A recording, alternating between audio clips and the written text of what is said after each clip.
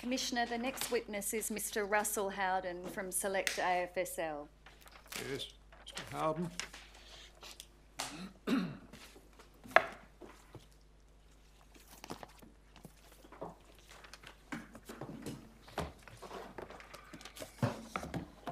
Mr Howden, once you've got all your papers sorted out, uh, would you prefer to make an oath or take an affirmation? I'd like to take an oath, please. Yes, and swear the witness. I swear by Almighty God I swear by Almighty God that the evidence I shall give that the evidence I shall give will be the truth, will be the truth, the whole truth, the whole truth, and nothing but the truth. and nothing but the truth. Thank you very much, Mr Howden. Do sit down. Yes, Mr Cheshire. Thank you, Commissioner. Um, so would you give the Commission your full name, please? Uh, Russell Hugh Howden, And uh, your occupation is you are Managing Director of Select AFSL, correct? that is correct. Your professional address is level 11 uh, North Tower, uh, Railway Street in Chatswood, New South Wales. Is that correct? That's correct. And uh, do you have a, you are here by virtue of a summons issued for you to attend, is that correct? That is correct. Do you have the original of that? Yes, I do. Commissioner, I attend to that. Exhibit 4.172, the summons to Mr Howden. And Mr Howden, you have provided witness statements uh, in response to rubric issued by the Commission numbered 4-23, 4-31 and 4-42, correct? That is correct. You have, all, you have also provided some further information in response to notices to produce served upon you by the Commission numbered NP 475, 495, 497 and 654. Is that correct? That is correct.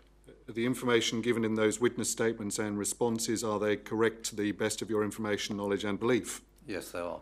Commissioner, I tender those documents. The witness statement in answer to rubric 4-23 becomes exhibit 4.173. Witness statement in relation to rubric 4-31 will be exhibit 4.174. And the witness statement in relation to rubric 4-42 will be exhibit 4.175. And Commissioner, I also tender the responses to the notices to produce that I asked Mr Howden about. They have further information. In addition, to, I'm not tendering the documents, but in the actual response letters, there's further information provided. Uh, I'm not then exactly clear what the tender is, Mr Cheshire. Is it uh, letters, documents, or uh, or what? I, they- are the- ordinarily speaking, we would uh, uh, presently be content with the uh, the witness statements, uh, and then if uh, need arises, individual documents produced in relation to the NTPs will come in. But uh, ordinarily, I would. Uh, not go beyond the witness statements. The way that matters developed, Commissioner, is that the notices to produce were overlapping with the rubrics in time. I'm sure they were. And so Mr Howden has provided some information which is only in what are responses being the letters which effectively said, in response to the notices to produce, which say, in effect, here are the documents you've requested and here is some further explanation as well. Well, if counsel assisting seek to tender that, so be it. Otherwise, we'll content ourselves with the uh, uh, witness statements unless uh, when we uh, it comes your turn to examine further, uh, uh, there is some occasion to tender those further documents. I'll speak to Ms Orr about that. Thank you, Yes, Commissioner. thank you. Yes, Ms Orr. Mr Howden, you're the Managing Director of Select AFSL. That is correct. And Select is a wholly owned subsidiary of a company called Blue Ink Group Proprietary Limited. Correct. And you've been put forward by Select to answer questions about the promotion and distribution by Select of funeral insurance, as well as in relation to the experience of Ms Marika that we've just heard evidence about. Correct. So Select promoted and distributed funeral insurance until earlier this year, is that right? That is correct. And the products promoted and distributed by Select were products which were issued by an entity called St Andrews. Correct. And the relationship between Select and St Andrews commenced in about 2013. And from about 2010, St Andrews was owned by the Bank of Queensland. Sorry, can you repeat that statement? From about 2010, was St Andrews owned by the Bank of Queensland? Uh, I'm not sure of the precise date, but um, yes, they were owned by the Bank of Queensland. And St Andrews has recently been sold by the Bank of Queensland to another entity? That's correct. Now, Select promoted and distributed the St Andrews funeral insurance products under the brand of Let's Insure. Correct. And was Select the exclusive distributor of St Andrews funeral insurance products? Uh, I can't say definitively whether uh, St Andrews had relationships uh, with other insurers. I know that prior to entering into an arrangement uh, with Select, uh, they did um, have other products uh, with other distributors. So Select stopped distributing St Andrews funeral insurance products very recently on the 19th of March this year. That's correct. Now, uh, before I proceed with some further questions, I just want to clarify a few points of terminology. Uh, in the request for a witness statement that was sent by the Commission to Select, the Commission asked for information about Select's operations. You recall that? And some of the information that the Commission requested sought to differentiate between Aboriginal and Torres Strait Islander policy holders and non Aboriginal and Torres Strait Islander policy holders.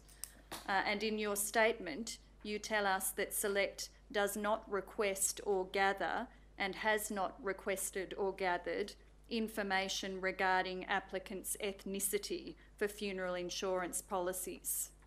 That is correct. Okay. But you also tell us that in line with guides provided to Select by St Andrews and by ASIC, Select has classified its customers residing in postcodes with an Indigenous population of 15% or higher as being Aboriginal Australians. Correct.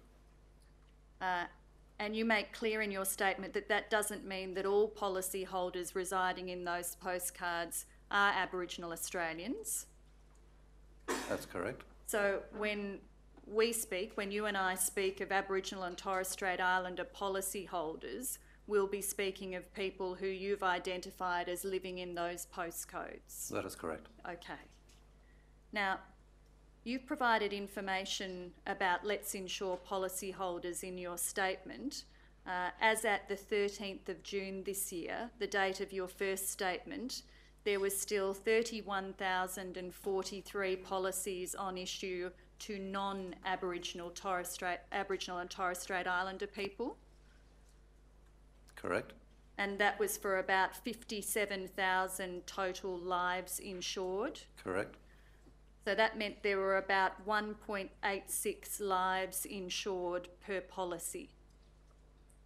Uh, using that metric, yes, that's correct.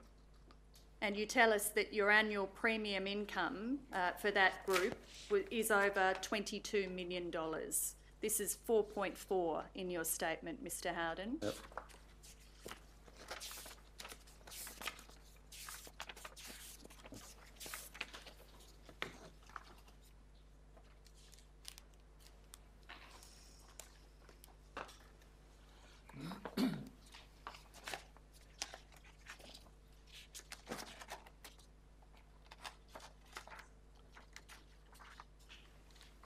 My apologies, Miss Orr. I actually thought you were going to start with rubric 431, uh, but you've gone to rubric 423.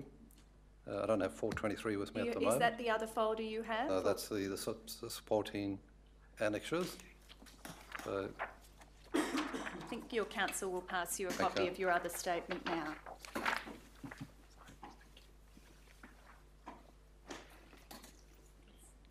thank you.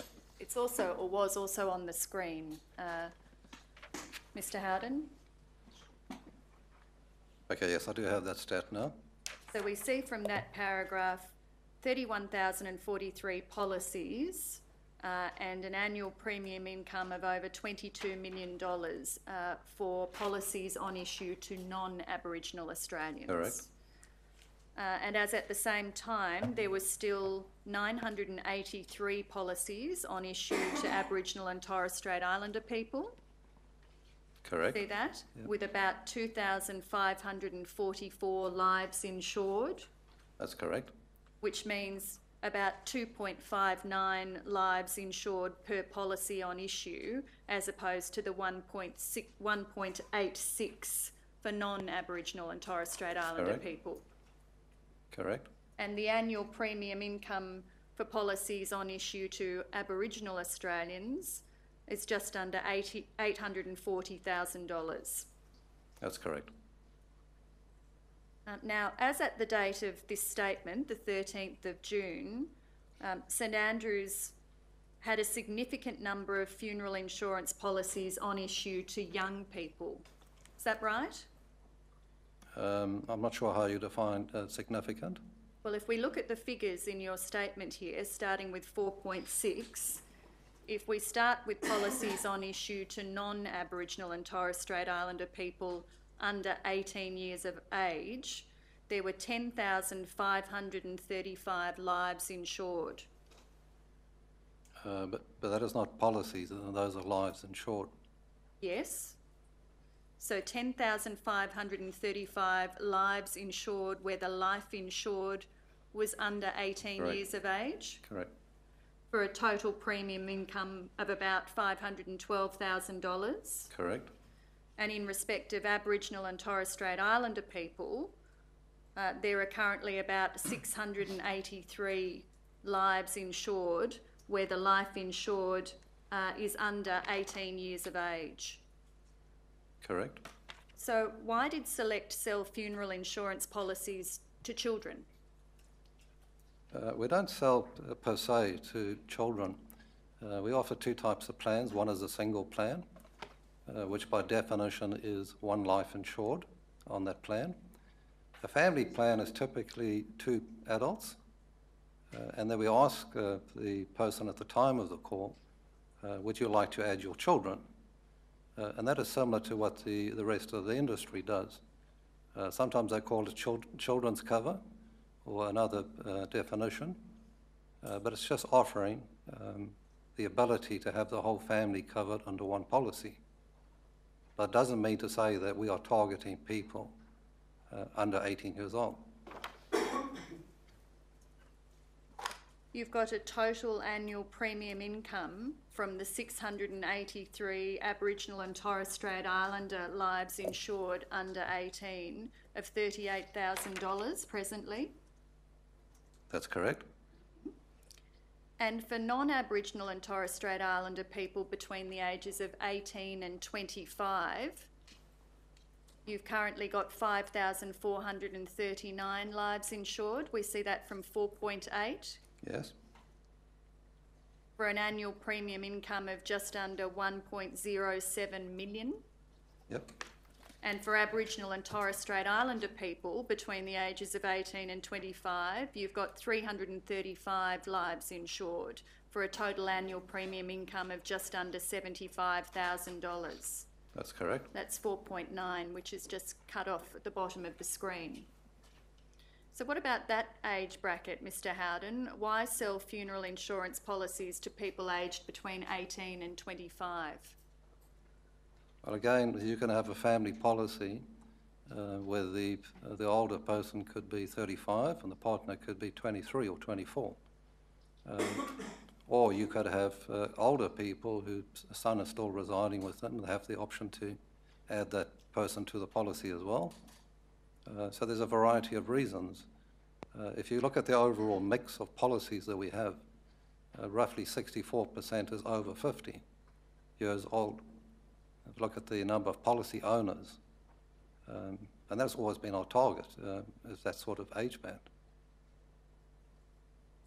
And over the last five years, Mr. Howden, uh, you've distributed a number of different types of funeral insurance policy. That's correct. Um, some policies have a fixed premium structure. Correct. Can you explain what that is?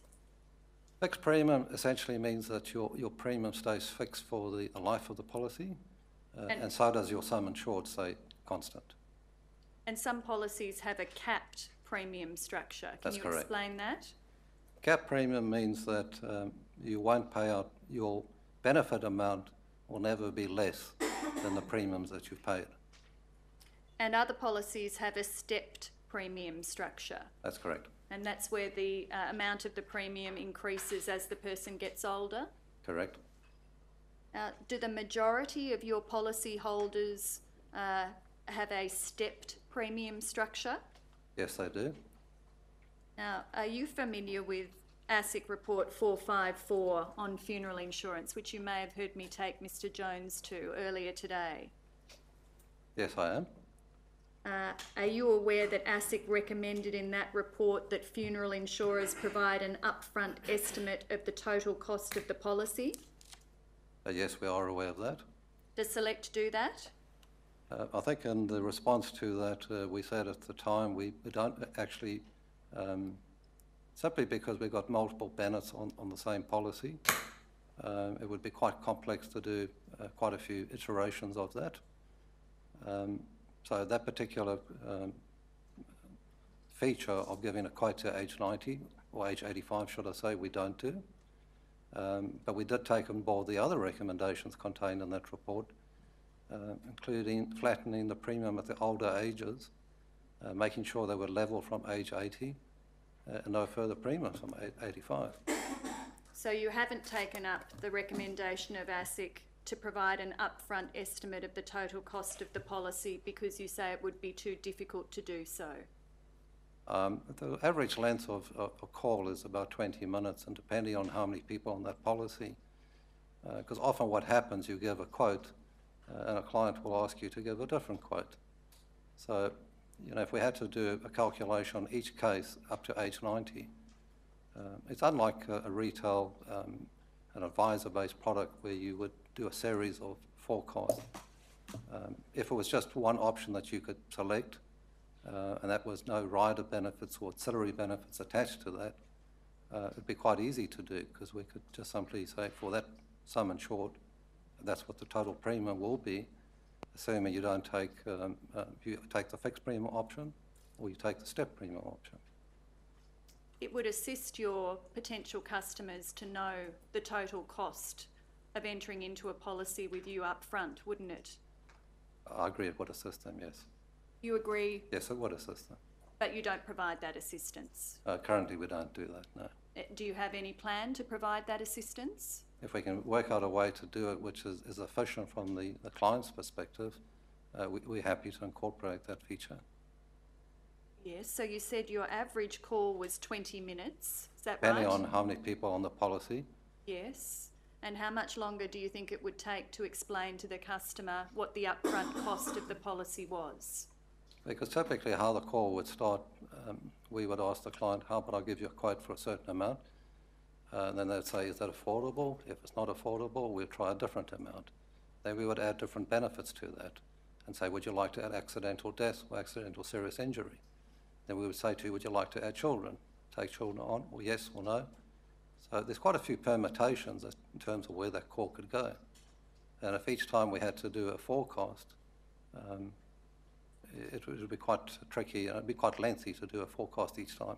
So each time you're discussing a different option with the customer, they don't have a critical piece of information, which is the total cost of that option to them. I know, no, at, at the end of that quote, uh, there's no doubt uh, what the, the cost is. And at the end of the call, we recap the cost for each benefit there. But do you give the total upfront cost to the customer? Uh, sorry, I'm perhaps misunderstanding you. Uh, we give them the upfront cost of the policy from uh, the first year, if that's what your question is, most definitely. No, I'm talking about an upfront estimate of the total cost of the policy. Assuming they went to age 85. Uh, no, we don't do that. Well, can I understand how many variables there are? There's three forms of premium payment, fixed, capped, stepped. Is that right? All right. There's the age of the uh, uh, life insured. Uh, whether they smoke, what their gender is, Yeah, uh, whether they take accidental death, accidental serious injury. yeah. I think we're at six or seven. Yes, go on. What other variables are there? Uh, those would be the, uh, the main variables, councillor. Six or seven variables? Correct. Yes. If we look at the recommendation made by ASIC at ASIC zero eight zero zero triple zero eight zero zero three zero, within that document at zero zero three five,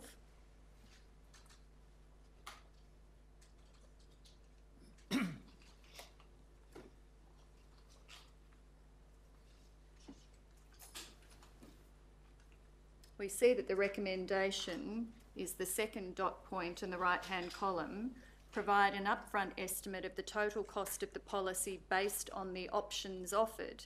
For example, stepped or level premiums with or without consumer price index or automatic sum increases if the consumer lives to 70, 80 or 90.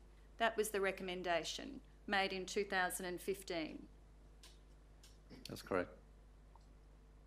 And as I understand it, you have not acted on that recommendation. Uh, only because of the complexity of, of the options. Do the vast majority of your policyholders hold policies under which they're capable of paying more in insurance premiums than the maximum benefit that's available to them under the policy? Uh, the vast majority, uh, yes, would have step premiums or fixed premiums. Have, Step premiums, yes, and they have a policy that um, allows a situation where they can pay more than they can ever recover. correct, but they are covered, uh, similar to other insurance, um, outside the first 12 months for death by any cause, uh, for the full sum insured. And over the last five years, uh, St Andrews has cancelled 20,322 policies held by non Aboriginal and Torres Strait Islander policyholders. We see this at 18.1 of your statement.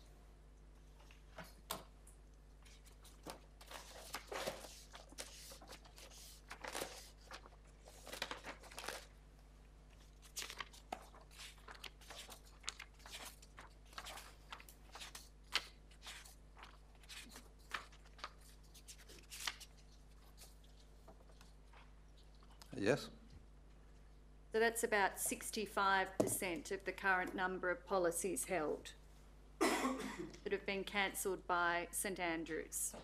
that's correct. And in comparison, about half of that number, 11,082, we see this from 19.1, non Aboriginal and Torres Strait Islander policyholders cancelled their own policies within that period. That's correct.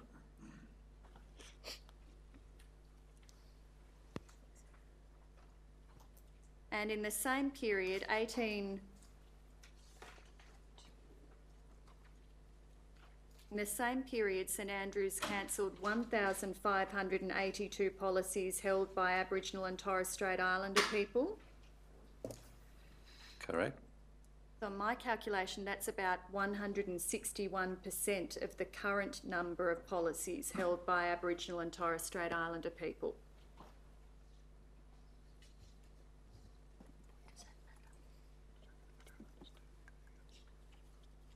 Um, I think the, the reason for the, uh, the spike uh, in it, I'm sure it will come up later, uh, we affected a remediation program uh, which distorted that. So there was like 640 policies, uh, and that would explain the, the spike there.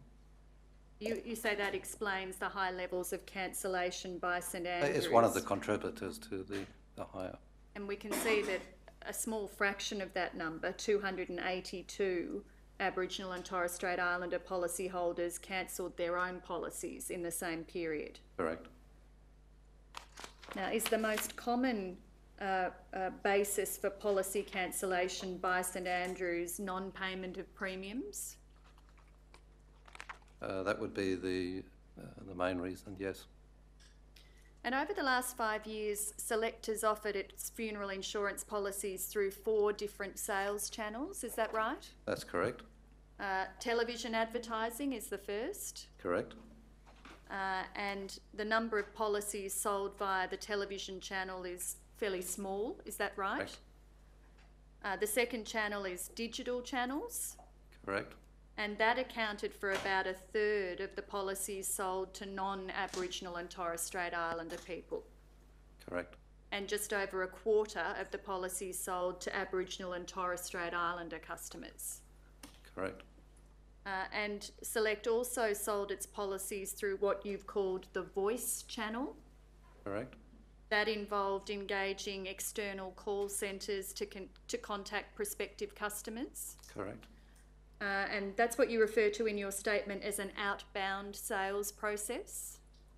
Uh, external call centre uh, would uh, generate leads uh, to pass through to us to call. Uh, so you engage someone else to generate a lead. Correct. A prospective customer is identified by an external party. Uh, so, what those external parties would do, um, they would call people um, that aren't on the do not call register, uh, following an approved script to gauge an interest as to whether they'd be interested in getting a quote. Um, and once they got that interest and the approval, uh, they would pass the lead through to us. So they pass the name and phone number Correct. through uh, to select. Uh, and that channel, that's the outbound sales process, is that right? That you refer to as the voice channel. I know um, the only uh, true, I suppose, inbound would be television. Uh, and then you have digital, which is survey, uh, which is almost like a quasi inbound because someone has an expressed an interest online to getting a call back. Um, and then you also have what we call the voice leads, what we just discussed, um, both of which would involve an outbound call from us, I understand. whereas the TV would be inbound. And the voice channel accounted for the majority of sales uh, to both non-Aboriginal and Torres Strait Islander customers and to Aboriginal Correct. and Torres Strait Islander customers.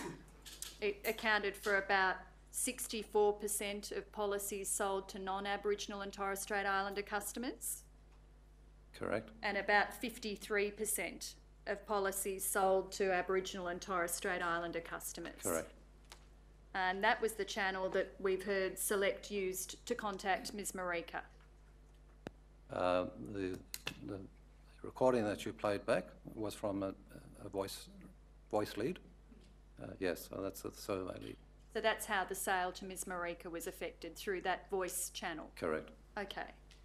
And Select has a final channel, which is uh, a channel that you've referred to in your statement as the referral channel. Correct. And did this channel stop being used at some point? Uh, as uh, we will go through later, yes, um, uh, we had a referral process in place, um, but because it was abused, uh, we stopped that process.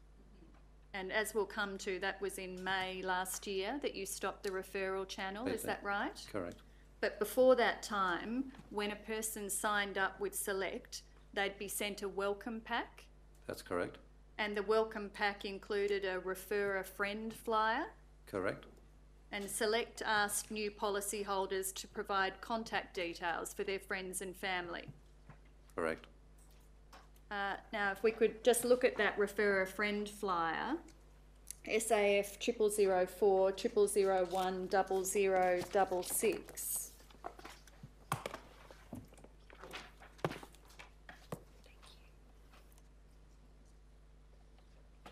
This is a copy of the refer a friend flyer, Mr. Howden. It is. And the flyer tells us on the first page that Let's Insure is always looking for ways to reward our clients for their loyalty. Correct. And that if a new policyholder refers a friend or relative who's also new to Select and who proceeds to take out a policy, the new policyholder will receive a $20 Coles Myer gift card. Correct. Now, there are some disclaimers suggesting that policyholders should seek their friends or relatives' permission to refer them. Do we see that on Yep. this first page and on the back of the form? 0067.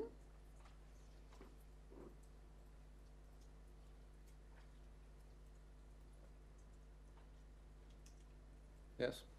But there was no requirement to give any type of positive declaration that you had obtained consent from your friend or family member before providing their details on this form. Correct. So what the form sought was the contact details of the people to be referred, their name, their relationship to the new policy holder, their postal address, their email address, and their contact numbers. Correct. And we see on the back of the page a reference, on the back page, sorry, a reference there on the flyer. Uh, I'll just find the part to blow up. I'm sorry, it's on the front page uh, in the second paragraph, and there's no limit on the number of times you can refer friends, so you can keep on being rewarded. You see that? Yes, I do. So that was the refer a friend flyer that was used when your referral channel was still operational.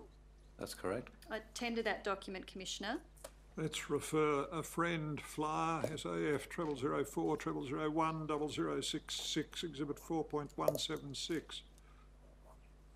Now, you tell us in your statement that sales made via the referral channel accounted for about 2.4% of the policies that are presently on issue to non-Aboriginal and Torres Strait Islander customers. Correct. but they account for about 19.94% of the policies on issue to Aboriginal and Torres Strait Islander customers. That's correct. Um, and as I said earlier, when we get to uh, that part, we'll explain what happened there. Yes, so of the, of the four sales channels, you accept that this is the channel that has the most significant discrepancy between um, sales to non-Aboriginal and Torres Strait Islander people and sales to Aboriginal and Torres Strait Islander people. Or 2015, yes, Yes, well, across the five-year period. uh, but it was concentrated in 2015 All right. uh, and it normalised outside those years. So it was the events in 2015 that led to the skewing of those numbers, is that right? So in 2015, there was a spike in the number of funeral insurance policies sold by Select. Uh, there was a growth um, in overall sales um, as a result of increased marketing spend. Um, but there was a spike in sales to um, the 43 codes, postcodes that St Andrews had identified um, as being Aboriginal postcodes. Yes, I see. That's the spike. But the overall um, growth in 2015 was a result of increased marketing spend. You say the overall growth was a result of your marketing schemes. Marketing spend, yes. Marketing Spend. Spend, thank you.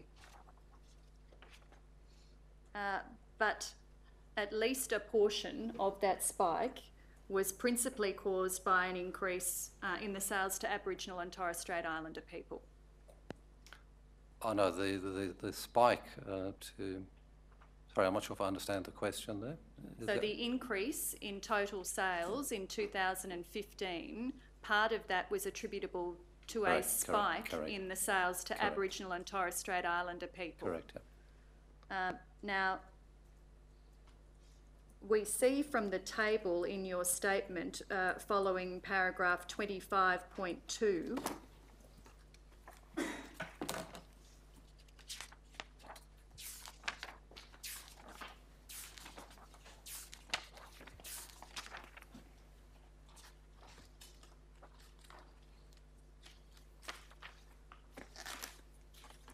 Yes, Just wait till it comes up on the screen. If we could have twenty-five point two and twenty-five point three both on the screen, that will assist because twenty-five point two deals with sales to non-Aboriginal and Torres Strait Islander policyholders. And twenty-five point three deals with sales uh, to Aboriginal and Torres Strait Islander policyholders. And we see there a spike in relation to sales to Aboriginal and Torres Strait Islander policyholders. 2013, 14 and 16, the numbers were between 3.5 and 3.9 percent. and in 2015 the number more than doubled to 7.8%. Correct. Now, the principal source of the spike was an increase in the referral lead source. Is that right? That's correct. Um, if you go to my response in 28.4, uh, you will see that referral uh, to there increased to 43% in 2015, uh, whereas previously it was, the prior year it was 6%, and the year after 2015 was 2%. Uh, the, the spike occurred in 2015. And almost half of the sales, 46%, that were made into those 43 postcodes between January and October 2015 were generated through the referrals lead source, weren't they? That's correct. And that was in comparison to the referrals source generating 7% of sales outside of those postcodes. Correct. Now, could I ask you to look at SAF triple zero four triple zero one zero double two zero?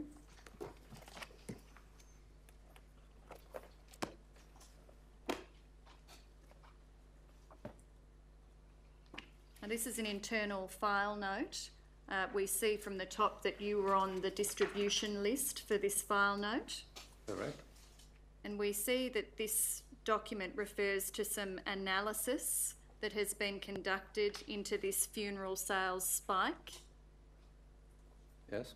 And at the bottom of the page, paragraph seven, the analysis identified that the proportion of sales for each type of lead source were broadly comparable as between the sales in the selected postcodes and sales outside of the selected postcodes, except for the referral lead source.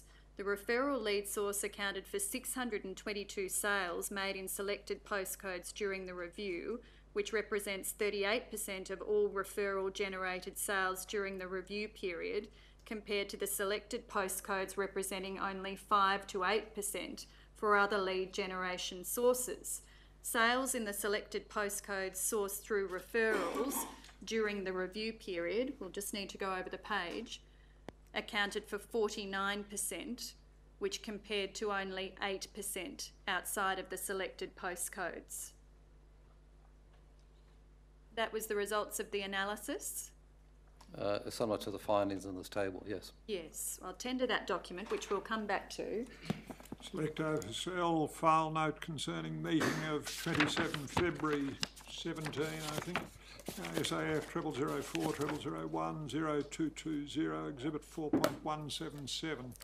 You, you tell us in your statement that during 2015 you were aware of an increase in the overall sales of funeral insurance policies. That's correct, because there was a planned increase based on uh, increased marketing spend. So you tell us that you believed at the time that the increase in sales was due to your increased marketing activities. That's correct. And you say that you weren't aware at the time of the proportionate increase in the number of sales attributable to Aboriginal and Torres Strait Islander people because you didn't have information about people's ethnicity. That's correct. And you tell us that Select didn't learn of the proportionate increase in the number of sales to Aboriginal and Torres Strait Islander people until the end of October 2016. That's correct. And Select learned of that issue when St Andrews notified Select of the internal analysis that it had been doing. That's, that's correct. St Andrews Actuarial Department, uh, and I think it was pursuant to the, um, the ASIC report, uh, 454 report, uh, did an, an actuarial analysis, uh, and, they brought that to our attention. that time we didn't have an actuary. Um, You didn't have an actuary. we didn't have an actuary because we're not a life insurance company. Um, So and the first time we were aware of it was when St Andrews brought it to our attention. Yes, so St Andrews had done a portfolio review, Correct. uh, and that analysis um, it was fed back to you at Select. Correct. And if we look at SAF triple zero four triple zero one zero two zero seven,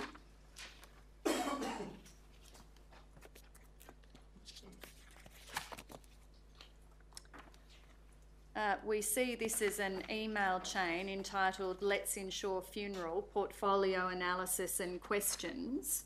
And we see from the first page that St Andrew's internal analysis was focused upon ensuring that there was not an over representation of sales to Indigenous communities that could be construed as potential mis-selling. Do you see that reference in an email to you on the 31st of October 2016? Yes, I do. And we see from the graph in that email that the analysis undertaken by St Andrews led them to come to the realisations that we've just discussed that there had been a spike in sales to customers living in postcodes with a high proportion of Aboriginal and Torres Strait Islander people, and that the spike was largely attributable to the referrals lead source. Correct. I tender that email chain, Commissioner. Emails to Howden and others, 31 October 2016, SAF 0004 0001 0207, Exhibit 4.178. Now, you tell us in your statement that when you learnt of this spike in sales, you were surprised. We were very surprised by it, yes. And this was because there'd been no specific change in lead generation or acquisition processes or targeting of sales within those postcodes. Correct. And you attributed the spike to two sales incentive arrangements. Correct. I want to come back to those incentive arrangements. But once this was identified, there was an investigation. Uh, as soon as we, it was brought to our attention, we did an investigation uh, and we narrowed that down to the uh, referrals. Uh, we then analysed it by representative Uh, and we narrowed it down to two representatives that accounted for over 50, it was 54%. Um, that had made the bulk of those sales. So you found that- that there were, uh, in your words, in your statement, abuses of the referral processes by two particular sales representatives. Correct. Now, you referred to two representatives in your first statement, but since then, have you found out that there was at least one more sales representative who abused those processes?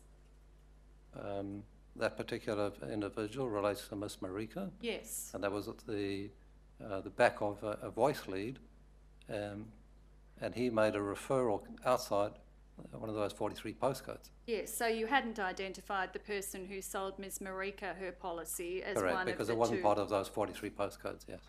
I'm sorry? The analysis we did was of the 43 postcodes. Yes. And Ms Marika didn't reside in one of Didn't those reside there. Now, do you still consider, Mr Howden, that the abuse of the referral processes by those particular sales representatives was responsible for the spike in funeral insurance sales to Aboriginal and Torres Strait Islander people by Select in 2015? Uh, I definitely do, because if you look at the, uh, the monthly analysis of the, one of the exhibits, certainly the year after that, i- it normalises in terms of an expected distribution. Do you have any views on what motivated the behaviour of those sales representatives? Um, as I said in my statement, uh, I believe there were two contributors to that. Uh, one was a sales incentive uh, of a Vespa scooter, uh, which we ran uh, up to June 2015. Um, and the other one was a, a, a cruise um, to the Sunshine Coast from Sydney, three-day cruise, cruise uh, which we ran up till September. So, two particular sales incentive programs.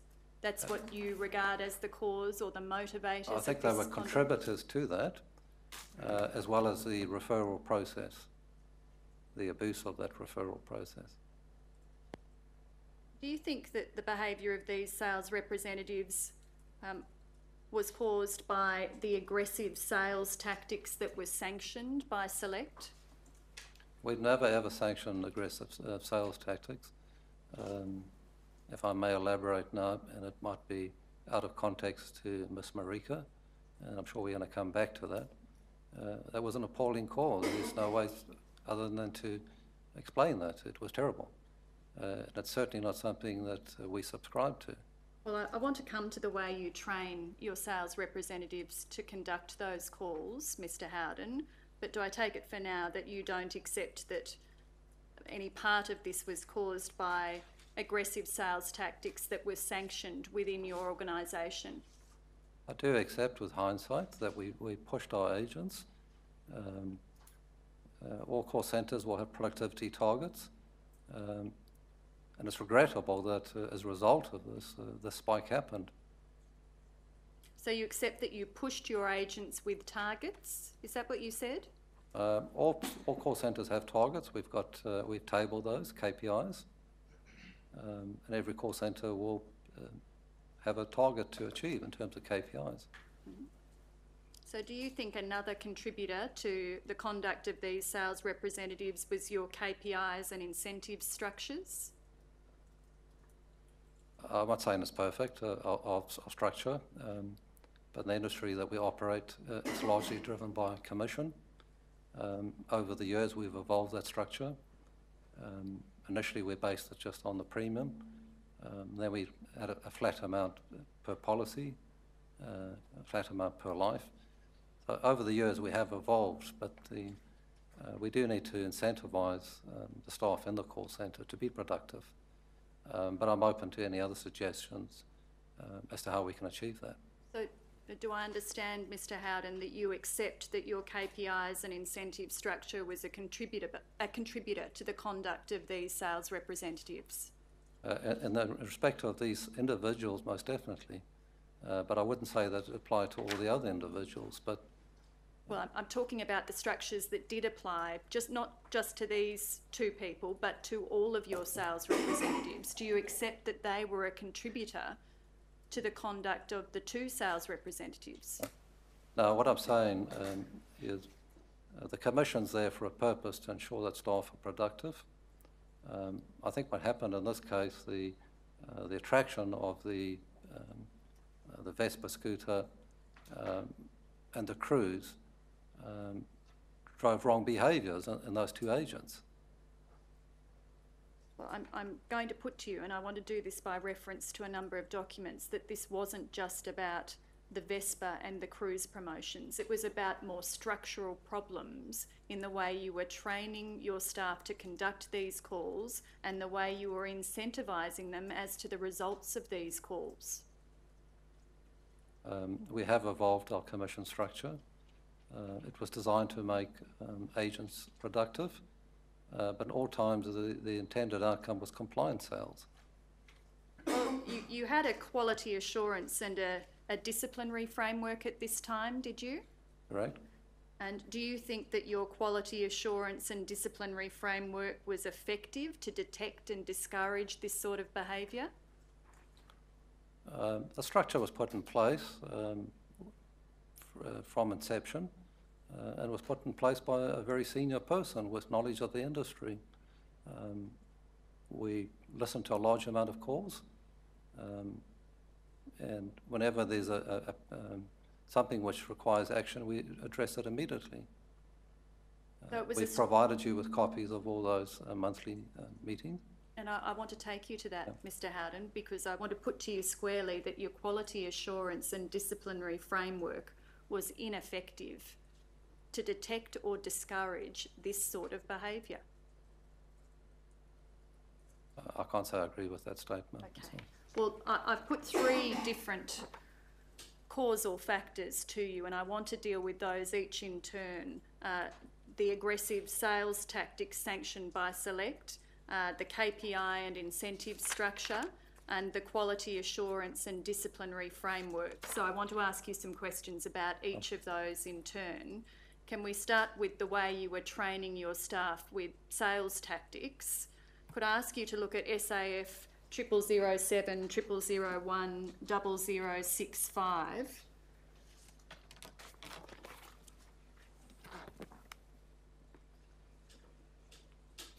This is a presentation used by Select to train its sales representatives in 2015. It's a colour version of a black and white document that you've annexed to your Yeah. statement. Uh, What date is all? The, the document is not dated, but we understand it to be a document that related to training in 2015. Is that correct, Mr Howden? Correct. yeah. Yes. Now, an important message of this presentation, which I'll take you to parts of, but which I understand you'll be familiar with, um, is that there is no impediment to making a sale to a customer who already holds a funeral insurance policy with another company. Uh, provided we provide the, the client with a quote for comparable cover, uh, and it's, it, it's a, a better, um, better outcome for the client. So you agree that there's no impediment, your staff are told there's no impediment to trying to sell to someone who already has a funeral insurance policy? Correct. Okay, and that's the subject of one of the slides in this presentation at 0073.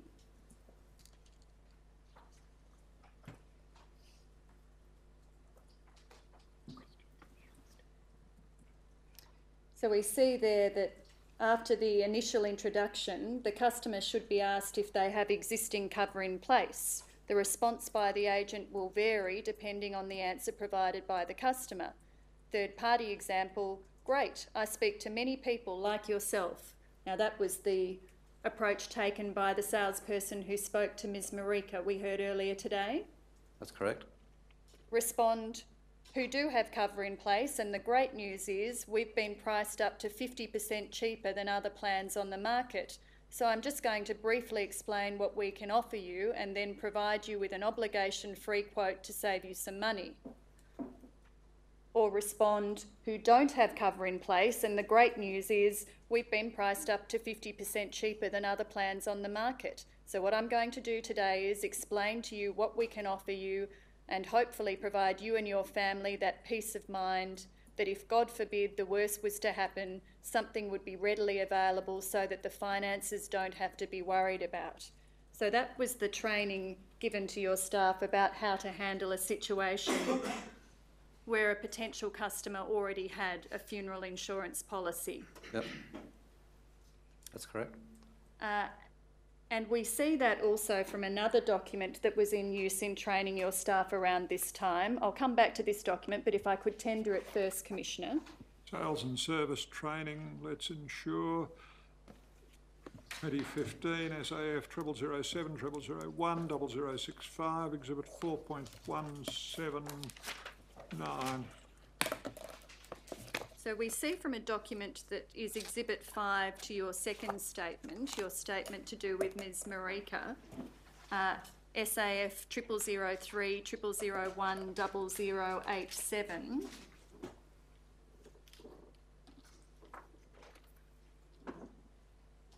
Now, this is another undated training document, but which we understand was in use in 2015. Is that correct? Uh, I'll just have to check the reference. Uh, It's referred to in your statement and it's annexure five to your statement, Mr Howden.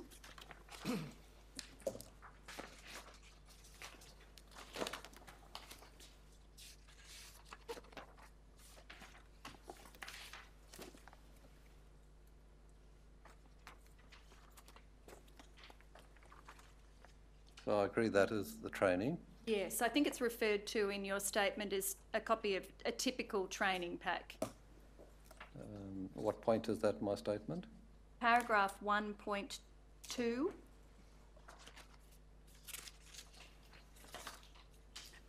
That's correct. Uh, and if we turn to zero one one five in this document,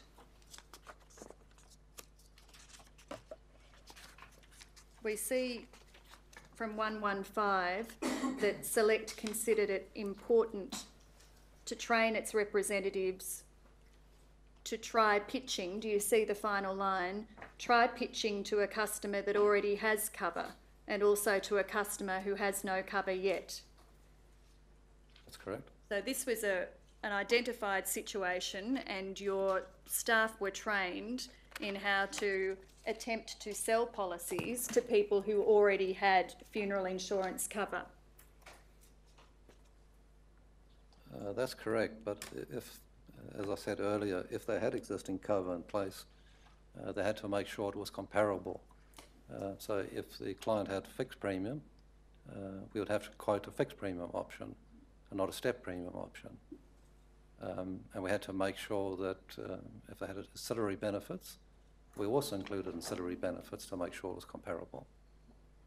So provided they were comparable cover and they were quoting, uh, yes, they were allowed to do that. And another important message from the sales training at Select was that it was permissible to play upon a customer's fears in order to sell policies. Do you agree with that? Uh, I see it's mentioned in uh, one of the points. Um, it's not fair. as, is bringing to customer the, the, the need to have insurance in place for the unexpected. That was the intent. Well, could we have a look back at the document that I had taken you to a moment ago, SAF 0007 0001 0065?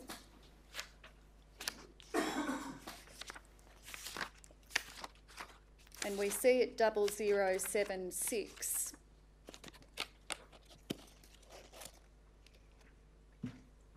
We see that your staff were told that there were three impulse factors that will drive the immediate decision, and they were rapport, fear of loss, and the Jones factor. The Jones factor is, I assume, a reference to keeping up with the Joneses. Is that what that is? Oh, no, it's not quite as illustrious as that. Um, it's, it's merely the fact that uh, other people have insurance. Yes. Uh, that was the intent behind it, to say other people do have insurance in place. And the reference to Jones? Uh, I don't know. To be honest, we inherited um, if this a training module from another insurer. Right. Um, the reason being a sales manager joined us from that insurer, uh, and over the years uh, we have improved. Uh, but the intent over there was to say, re- by reference to people that already have cover, and that's why they referred to it as the Joneses factor. I see. And the presentation says below those three impulse factors, if you can align your product presentation to meet the common benefits and impulse factors listed above, your power to persuade will greatly increase. That's correct. So Select trained its sales representatives to align their presentation with a potential customer's fear of loss so that their power to persuade would increase. Uh, the emphasis was on rapport. Um, as I said, uh, we inherited this uh, from a previous company. Uh, our emphasis was on rapport with the, the client. Uh, you've got to get the trust of the client uh, to sell the features. And life insurance, we do have to sell. And you need in that process to emphasise and work on their fear of loss as well. I I see it there, but I don't agree that's the, the main driver. Well, No. this was the presentation given to I your know it was staff, a wasn't it? presentation, but it's not the main driver. And if you look at the, um, the sales scripts um, and the, the compliance uh, score scorecards, uh, there's nothing that which, which would suggest that fear of loss uh, is a key driver to us. Just, just your training of your sales representatives. This particular presentation. Yes. We see that another part of this training related to objection handling. Yes. And I want to come to that. And another part related to mechanisms for closing the sale. Can we uh, have a look at uh, 0065? I'm sorry, at uh, 0083.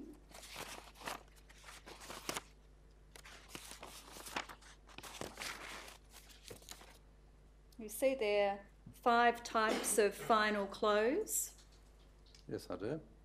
and at least four of those five types of final close that were endorsed by Select are designed to proceed from the assumption that a sale will be made.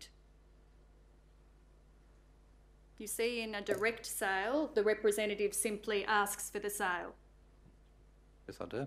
And in the alternative sale, the representative is instructed to present two options and ask the customer to select one, and often both options are a sales outcome. You see that? I see it in the presentation. And in the trade off, the representatives, representative is to offer to complete the application in return from action from the customer. Yes, I see that. And in the assumptive final close, the representative is to assume that the response is positive and lead the customer to mandatory confirmation. See that? Yes, I do. And then there's tips for final closing, and one of them is to make it clear to the customer that the decision is being made. You see that? And you Okay. project confidence in your voice when you're doing that. Um, But if you see with the, the sales script, uh, we do have to get a clear yes to uh, that policy to proceed. But this is about how the sales representatives were conducting themselves in their attempt to get a yes, isn't it? Uh, To be honest with you, I'm not, I've never done this training, uh, but I, I do acknowledge it is our training material. Yes, it's, it's the But I, training. I I don't know how this was conveyed. Well, it was- All I can say to you is the standards that we expect of the agents uh, is a high standard. Well, this is what you were conveying to your agents about how you wanted them to do their job, wasn't it, Mr Howden? Um, But I don't even know all the answers to those assumptions there and how they were conveyed to the agent. Well, can we come to what this training told your sales representatives about how to handle objections from the customer? Um, there was significant emphasis placed in this training on how to teach people to actively overcome potential customer objections. Do you agree with that? Yes, I do. And if we start at 0085, we see a slide on objection handling.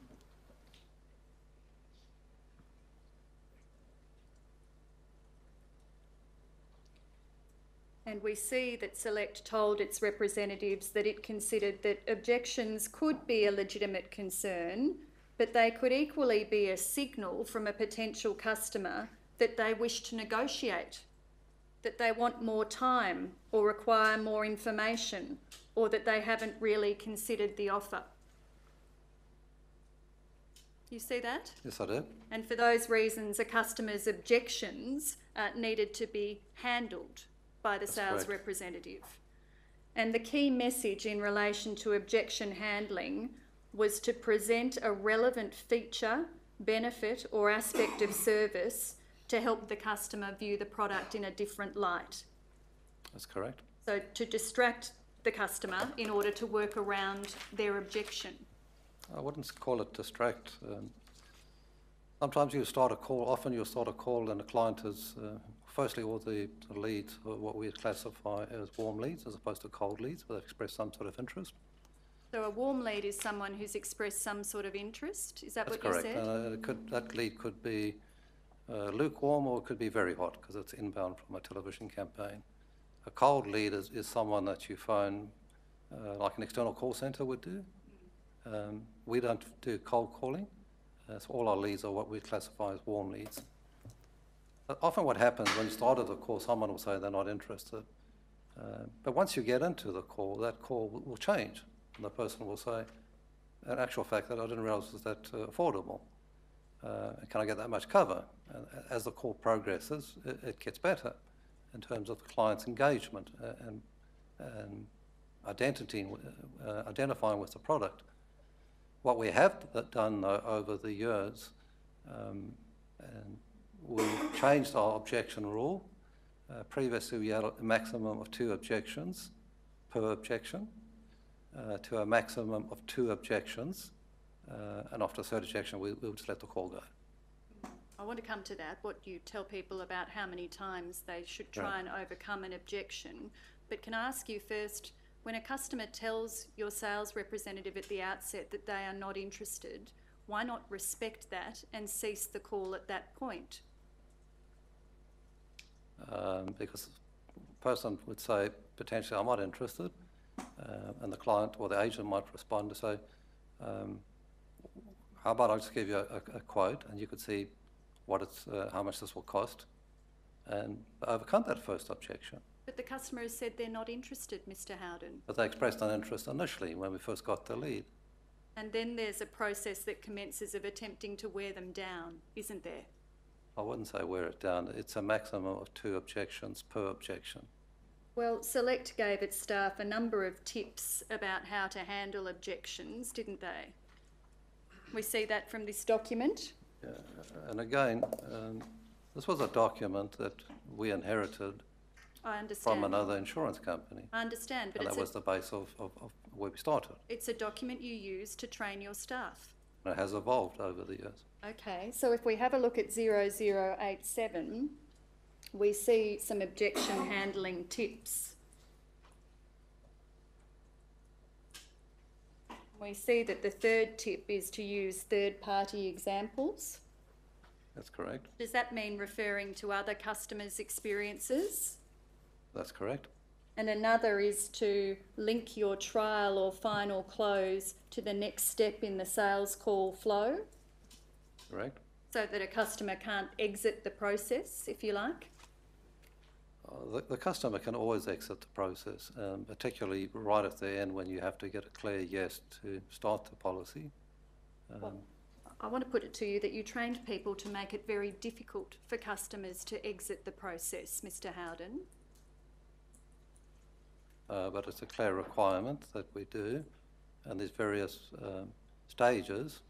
Uh, even when it comes to the banking section, uh, we've got to get a clear uh, agreement from the client to proceed with that section. And at the final stage, we have to get another clear agreement. We, we see from this page that you suggested to your staff that at a minimum, they should attempt to handle each objection with two relevant objections. That was the earlier rule that I said, um, per objection, uh, a maximum of two objections to that objection. But if you had a third objection to the same objection, uh, they weren't allowed to proceed with it.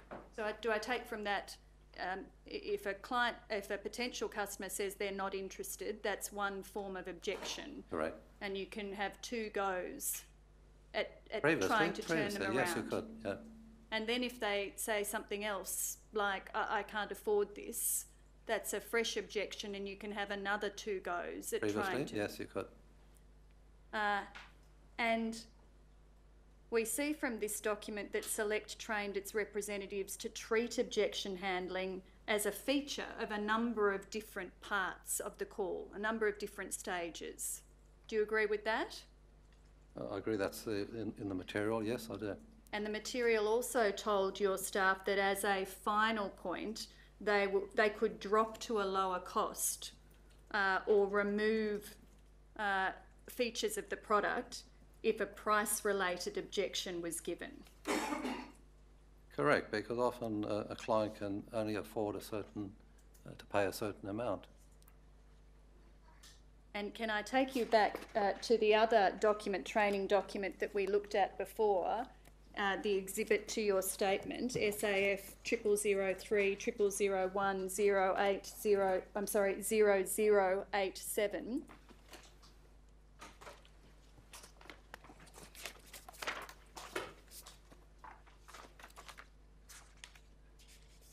And if we turn to zero one hundred.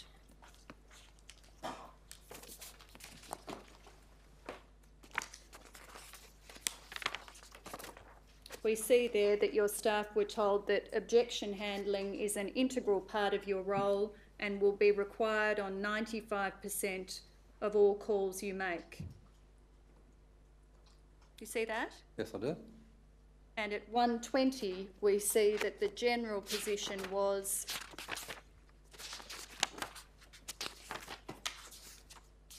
um, the three objection rule, which means we can handle two objections, and on the third objection, we need to let the customer go and arrange a callback. Or, if more appropriately, advise them to call us back. Correct. But some objections we see from 0119 didn't count towards the total objection limit. So this is before you've actually got into the pitch uh, about the product. Yes, so we see there in the first line, objections are not counted towards the total objection limit during the engagement phase, that is, before the product pitch has started. That's correct. And at 118, we see that Select gave specific pointers for some types of objections, such as the I'm not interested objection. You see that? Yes? This will be the most common thing you'll hear in your calls, but works slightly differently to other objections. And Select considered that if a potential customer said this, they were not actually giving you a legitimate concern. And as a result, the objection needed to be handled slightly differently to determine why the potential customer was not interested. And then you could turn to the regular process of objection handling. You see that? Yes, I do. Now, having gone through those training documents, Mr Howden, um, in 2015, when this is how your staff were being trained, you were training your representatives to sell and to sell aggressively. Uh, again, I would say they were selling to a, a lead where a client has expressed an interest. Um, and I'm not saying in all cases, uh, all the agents on every single occasion um, weren't aggressive. I'm not saying that is the case. Uh, but they were trained to follow the, the rules. Um, and the client had expressed an interest uh, in getting a call back. Um, and insurance um, has to be sold. It's, it's one of those products. It's, it's life insurance. You have to explain the features and go through the price before someone uh, decides to take out that product. And you trained your staff to be persistent in their dealings with customers in an attempt to sell those policies. Uh, certainly not of the nature of the call that we heard earlier. Um, Well, wasn't that call showing compliance with most of this training, Mr Howden? I know there were quite a few things there that were, um, he didn't check with the, uh, the client. He should have arranged a call back because the client had insurance. He didn't know what type of the policy was. He didn't show any respect to that client. It, it was terrible. It, it was, wasn't a model call. He was handling her objections, though, wasn't he? Uh, he, he thought he was handling his objections, but he wasn't doing a good job, no. Was the training that you gave to your staff modified in any way where you were seeking to make a sale to an Aboriginal or Torres Strait Islander person? Definitely not. And should it have been? Um, we as a business, and it's come through in our material, we have never actively targeted uh, the Aboriginal community. Um, it's not a focus of our business. I, I'm talking about modifications to assist Aboriginal and Torres Strait Islander people in dealing with your calls. Um, given what we heard from Ms. Marika and uh, the cultural sensitivities, um, I agree there's more care that has to be exercised there. Um, but we wouldn't discriminate against someone if they'd completed an online survey and come through to the sales process. Do- So we don't always know um, if the person's Aboriginal. We don't ask them at the time of the call. Yes, and should you ask them, Mr Howden? Uh, we don't, but uh, if we're allowed to ask them, we would be happy to ask that question. I see. I'm sorry to have gone a bit later, Commissioner. I thought it might be useful to finish that topic. Yes. Uh, How are we travelling for time? I think a 9.45 start again would be useful. Thank you, Commissioner. If I could ask you to be back here in time to begin again at 9.45 tomorrow, Mr Howden, Thank you. and we'll adjourn until that time.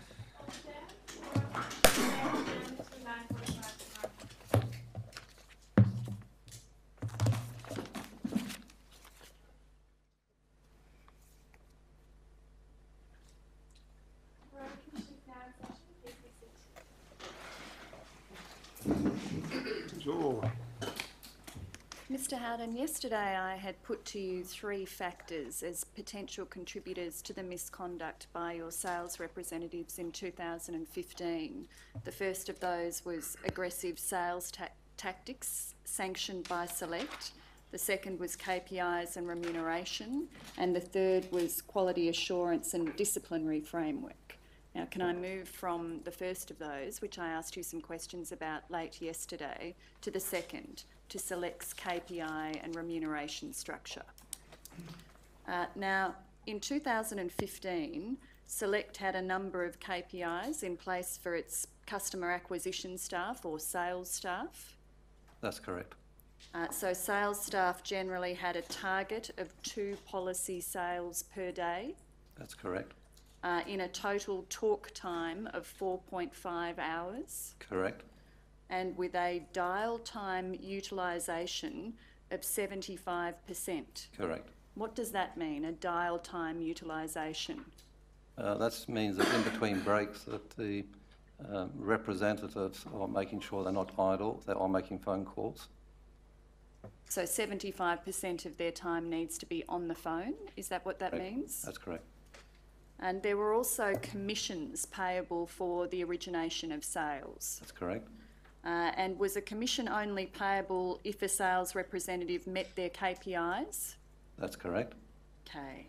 Now, in 2015, we see from your statement that a sales representative would get a commission of between 4 and 10% of the first year's premium for sales that they originated. Is that right? Correct.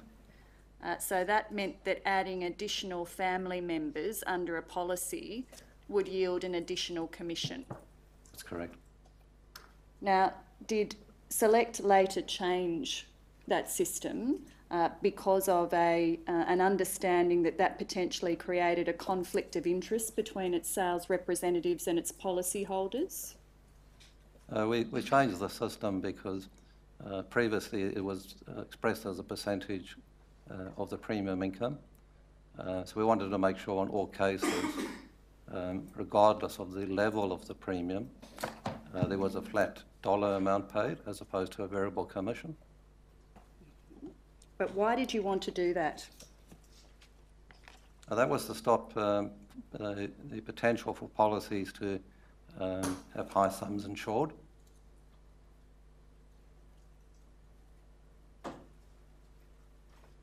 Can I ask you to look at a document that I showed to you yesterday, which is SAF triple zero four triple zero one zero double two zero.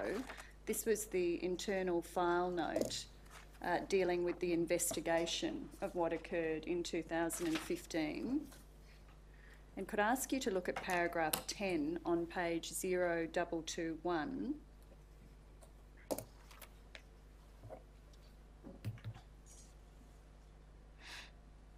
Could ask you to look firstly at paragraph 9? Since 2015, Select has made a number of changes that collectively would reduce the likelihood of the factors that led to the sales spike reoccurring and or identifying the emerging trend earlier, including stricter rules around refer a friend, Sales agent remuneration practices have evolved to better align with the interests of customers and selects commercial interests.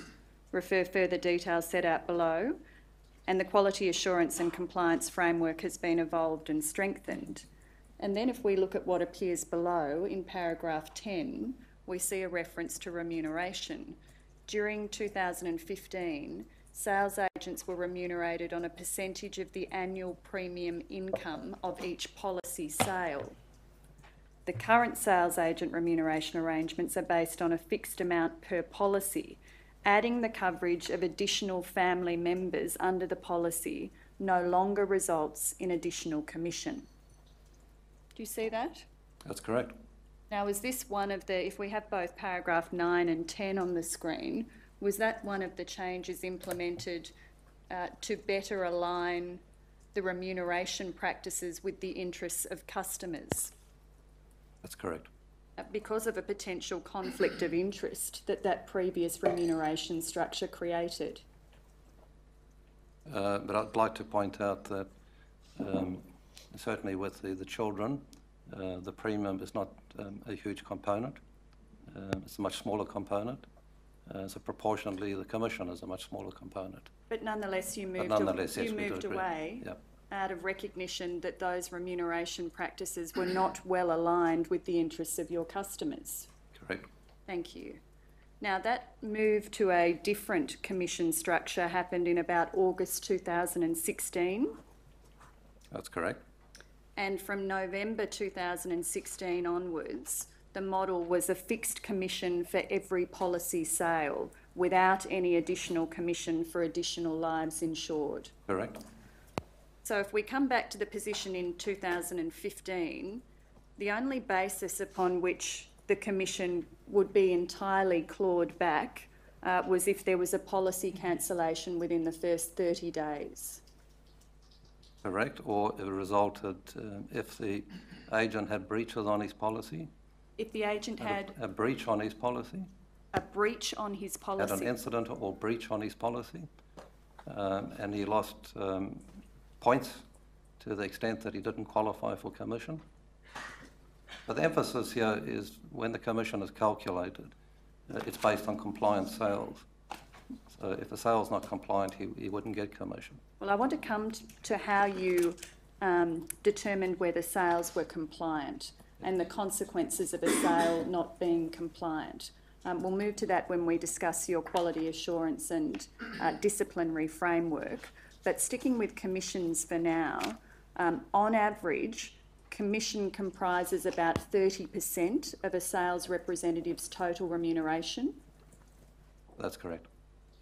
And the call-based incentives, these commission-based incentives, uh, aren't the only incentives that apply to your sales agents.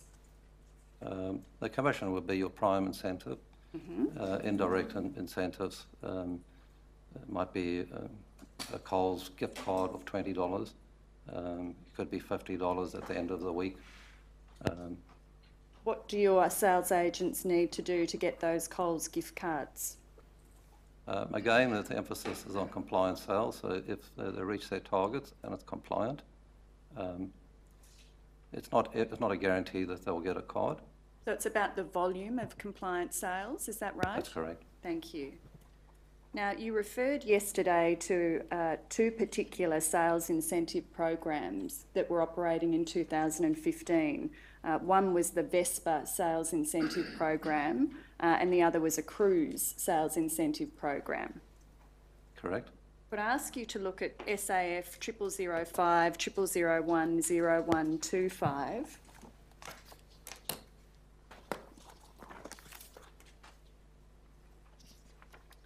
Uh, Now, before we move to the Vespa and the cruise incentive programs, um, we see from this document that in 2015, uh, Blue Ink had quarterly awards for which select representatives were eligible.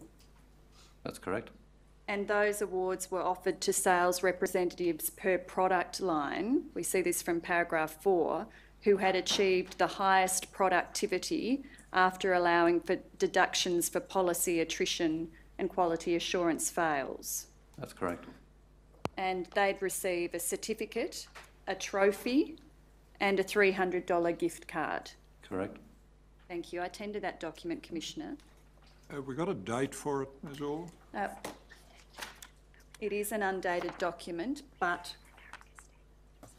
Uh, Yes, but Commissioner, this is the latest uh, version. This is the current version, is it? Yes. And we understand from your statement, Mr Howden, that it was also applicable in 2015. Is that Uh, correct? Of the, broadly the same structure, yes. Yes. Blue Ink Quarterly Awards, um, 2015 to date, uh, SAF 0005, double zero, uh, treble zero one, zero one two five is exhibit 4.180. Now could I ask you to look at SAF 0004, 0001, 0236?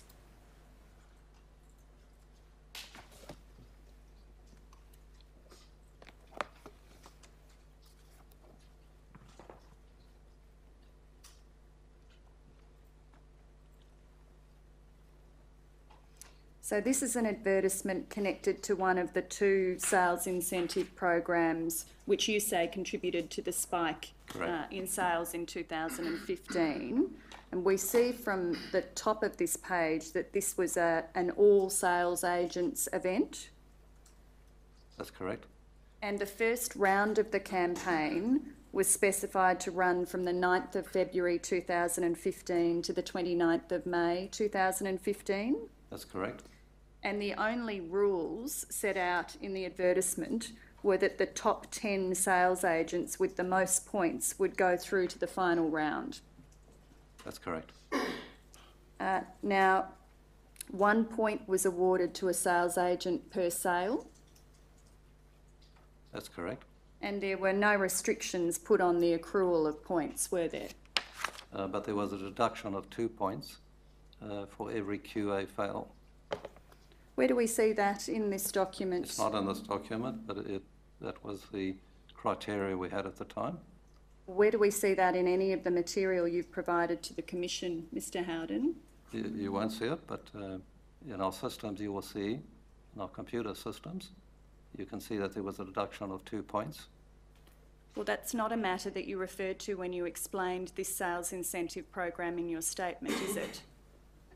Or you, asked for the, the materials, I provided the material. Um, Yes. But there was a deduction of two points. And you've not provided any documents to demonstrate that? It's embedded in the system. And it wasn't something that your sales agents who received this notice were told by this notice? It's not specifically referred on the notice, No. but it was, was a requirement.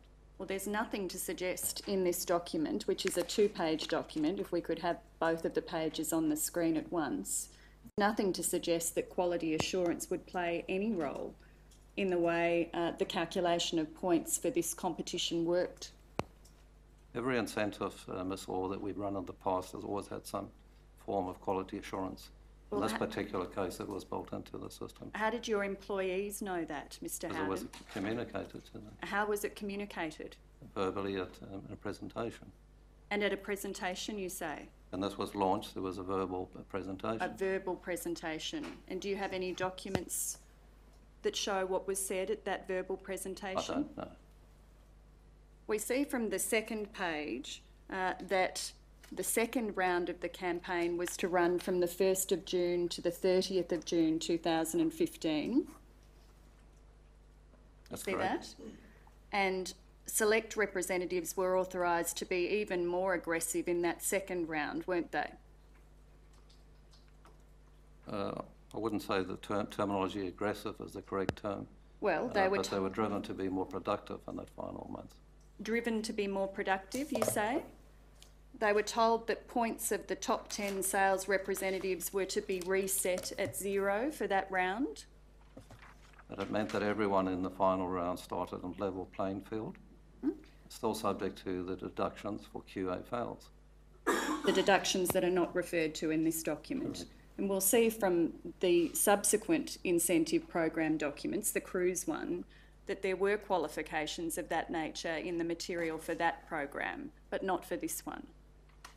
I regret that it wasn't specifically mentioned here, but it was embedded in our system. So we see that the top 10 are going to go head to head, accumulating a point for every sale. That's correct. And they were told it's every salesman for themselves.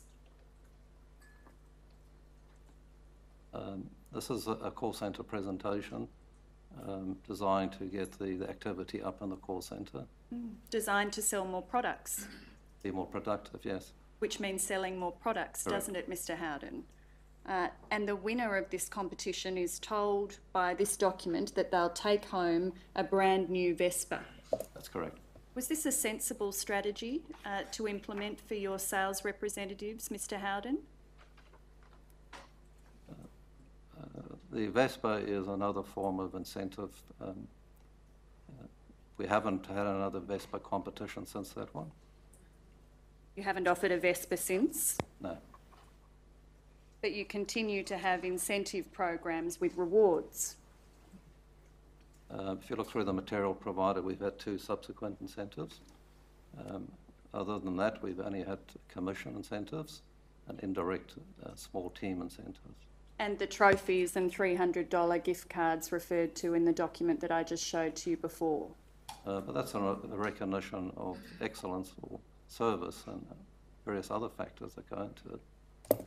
You see in this document uh, that was given to your sales agents, Select put a challenge to the sales agents in the form of questions like, who will rise to the top and do you have what it takes? Do you see that language in the document? I do. Okay. Was that, was that an appropriate way to incentivise your sales agents, Mr Howden? Uh, Ms. Orr, when, when you're running a call centre, um, you need to have incentives to keep um, the staff motivated um, the intent was to keep the, the staff motivated. And you accept that this incentive campaign was a contributing factor to the, that. to the misconduct that led to the spike in funeral insurance sales to Aboriginal and Torres Strait Islander people in 2015. Correct. And this sales incentive program coincided with the introduction of the refer, refer a friend campaign, didn't it? Uh, we always had a refer a friend uh, campaign, um, but during this time, that campaign uh, was abused. I did send a correction, uh, correction to the original statement. I just want to understand that because I'll, tender this document before I turn to another commissioner. Uh, Vespa sales battle rounds one and two, SAF treble zero four, treble zero one, zero two three six, exhibit four point one eight one. Could I ask that you go back to the internal uh, file note about the investigation again? SAF triple zero four triple zero one zero double two zero. And I'll ask that you be shown zero double two one and paragraph eight. Select advised that two incentive arrangements, being a boat cruise incentive for the second quarter of 2016 and a Vespa prize that coincided with the introduction of the Refer a Friend campaign, offering gift vouchers to customers, were contributing factors to the spike. Now, is that correct? Were these incentive programs um, introduced at a time that coincided with the introduction of the Refer a Friend campaign? Now, the refer a friend campaign we've always had. Uh, yesterday, you showed an exhibit. The uh, flyer? The flyer. The Refer a Friend Correct. flyer? Um, but what happened at this time um, coincided with these incentives um, that certain agents chose to abuse that refer a friend program. Well, why is there a reference there to it coinciding with the introduction of the Refer a Friend campaign? These minutes weren't written by me, Ms. Orr. Do you say that's incorrect? Uh, it's not incorrect, but the, the refer a friend program did exist prior to that. So you don't know what's being referred to here as the Refer a Friend program, the introduction of which coincided with the sales incentive program? I It's been, just, it's been badly couched. Uh, there was a refer a friend program previously, uh, but it did coincide uh, hand in hand, the refer a friend program with the incentive. in what way did it coincide hand in hand with the Because we had two agents uh, that saw um, an opportunity to abuse the system. All right. Well, the, the second incentive program that you refer to in your statement as contributing to this misconduct uh, was the sailors' sales incentive. Correct? Uh, and if we look at SAF triple zero four triple zero one zero two three eight,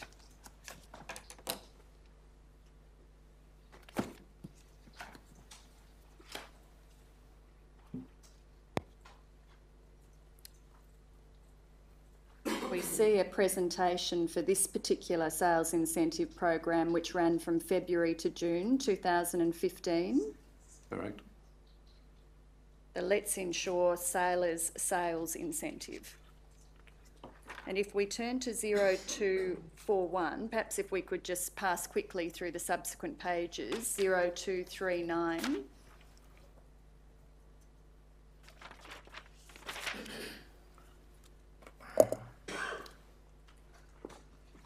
Have we got a pearl of an incentive for you? 240, Meet Pacific Pearl.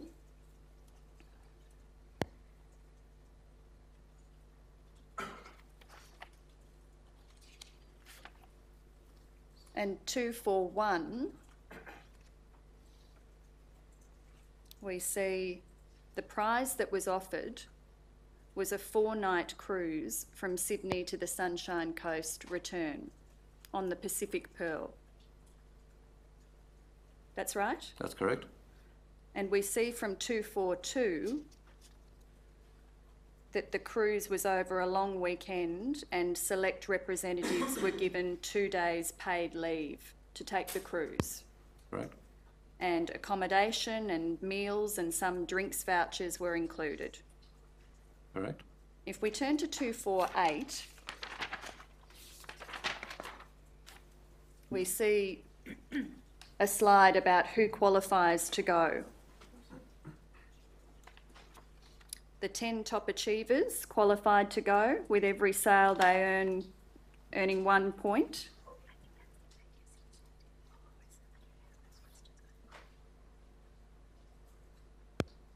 Is that part of That's the correct. sailor's sales incentive? That's correct. And at 0249, we see that three spots were offered to wildcards. Do you see that? Correct? And the wildcards were selected on a number of bases, including ongoing promotion of the incentive. What was that referable to?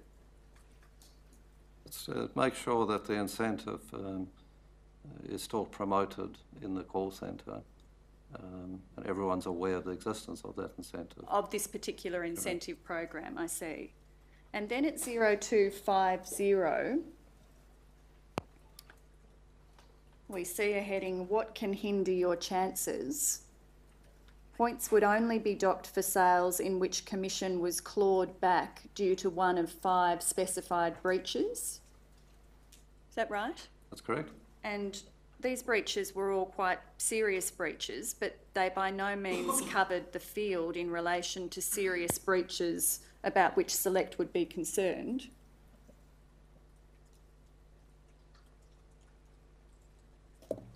Uh, they would account for the um, majority of incidents that you would have on a call.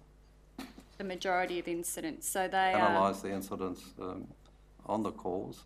Uh, these would account for the majority the main problems, are they? when, when it detected.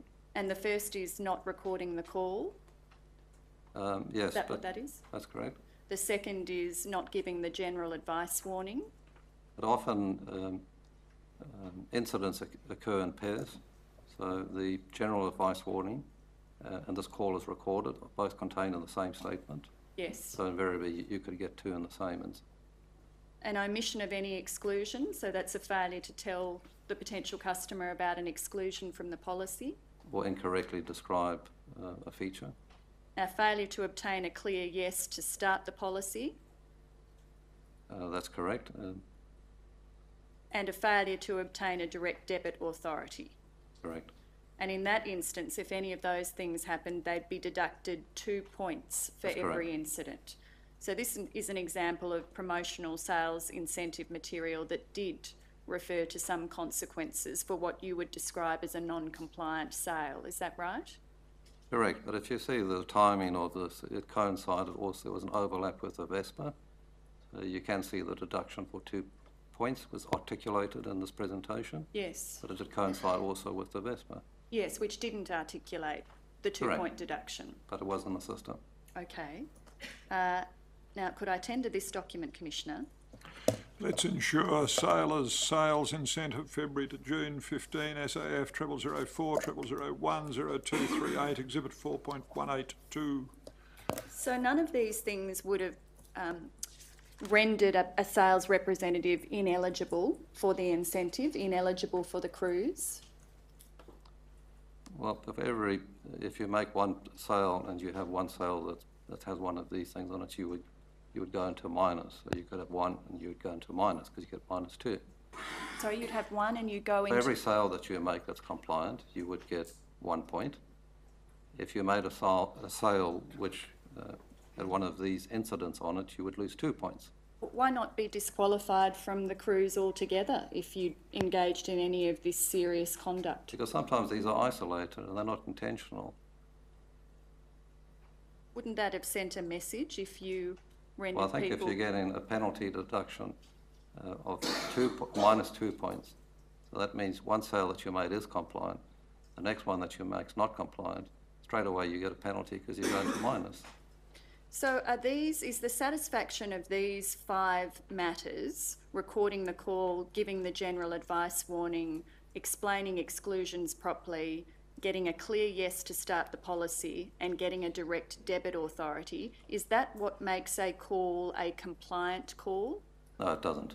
So these are just some of the criteria for a These were the compliant book. criteria for this particular incentive. Okay. Now, there were other breaches that Select was, um, uh, and other potential breaches that Select was concerned about at this time, weren't there? Uh, what do you mean by that, Ms. Well, can I show you your 2015 compliance manual, uh, which is SAF triple zero nine triple zero one double zero five seven.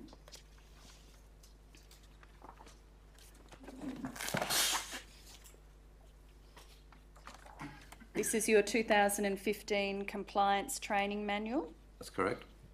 And if we turn to 0072 within that document, we see that Select was concerned about its representatives not engaging in misleading and deceptive conduct.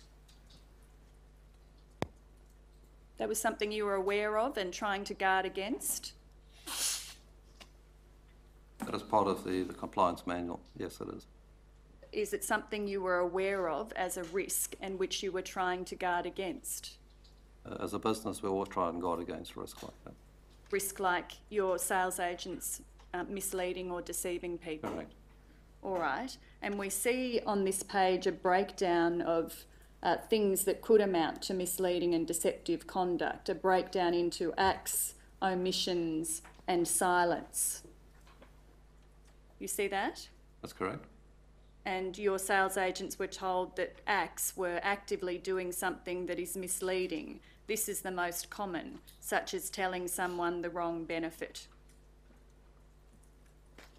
I think to take us out of context, this is a statement uh, about the industry which is embedded in our compliance manual. Yes. All I'm trying to demonstrate, Mr Howden, is that you were aware of the risks of your sales agents engaging in misleading and deceptive conduct, and your compliance materials reflected that. Uh, it was an expectation that they'd adhere to that, yes. Yes, and on the following page at double zero seven three, you were also aware of the risk that your client, your sales agents would engage in unconscionable conduct. You see that there? Yes, I do. You told them about what unconscionable conduct was.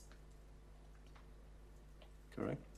And we see there that um, there's a particular reference to potential unconscionable conduct in relation to Indigenous people.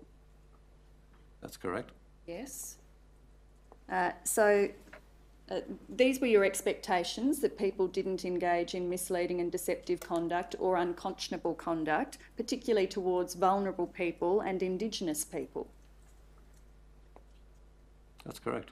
So why not include in any of your sales incentive um, criteria an element which Yeah. required your sales agents not to engage in misleading or deceptive conduct or unconscionable conduct? With the benefit of hindsight, uh, we would have added more uh, criteria to that.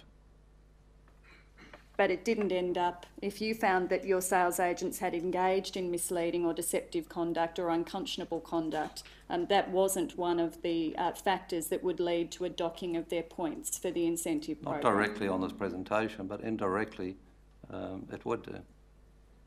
I need to stress that if, uh, whilst it's not in this document, uh, if any agent engaged in misleading conduct and it was severe, we would dismiss the person. What- Weren't these incentive programs a good opportunity to remind people of their obligation not to engage in misleading or deceptive conduct or unconscionable conduct, while at the same time you were whipping them up uh, to sell more and more of the policies? Uh, I personally wasn't whipping them up, to use your words. Uh, uh, I think the sales manager was doing that job. Well, the language But on the- those? that- I agree with you on the language and hindsight. Uh, we should have been more specific. You were pitting your sales agents against each other in battle to affect. That's, that's sales jargon, that's all. And it has an impact, doesn't it, Mr. Howden? It has In an impact. I agree with you. We should have changed that. Uh, now, I'll tender that document, Commissioner.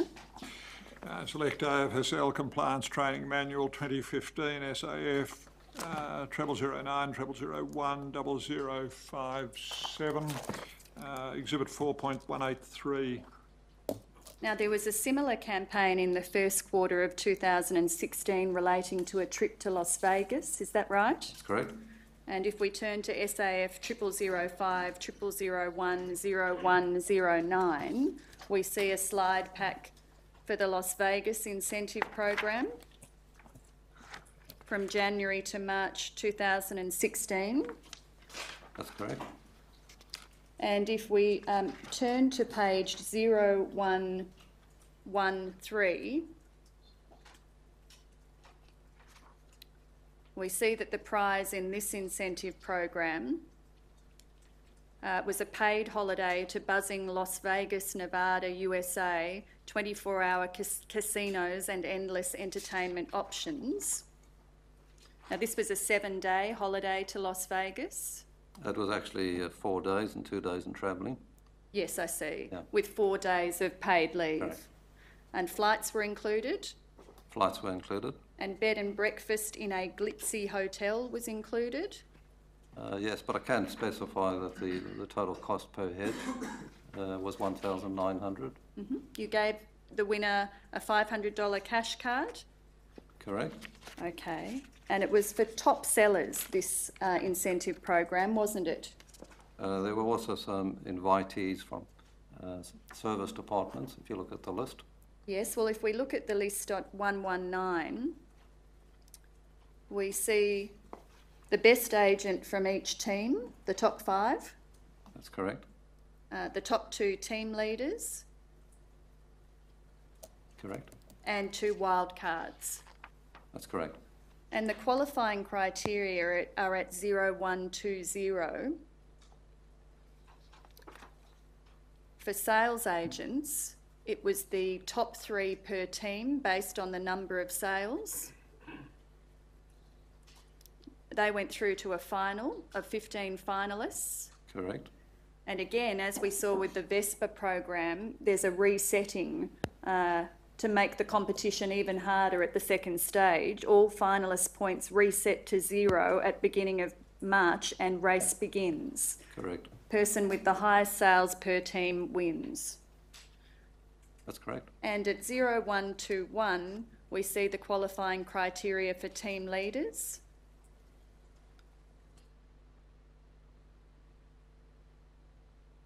The top two team leaders based on number of sales at the end of March.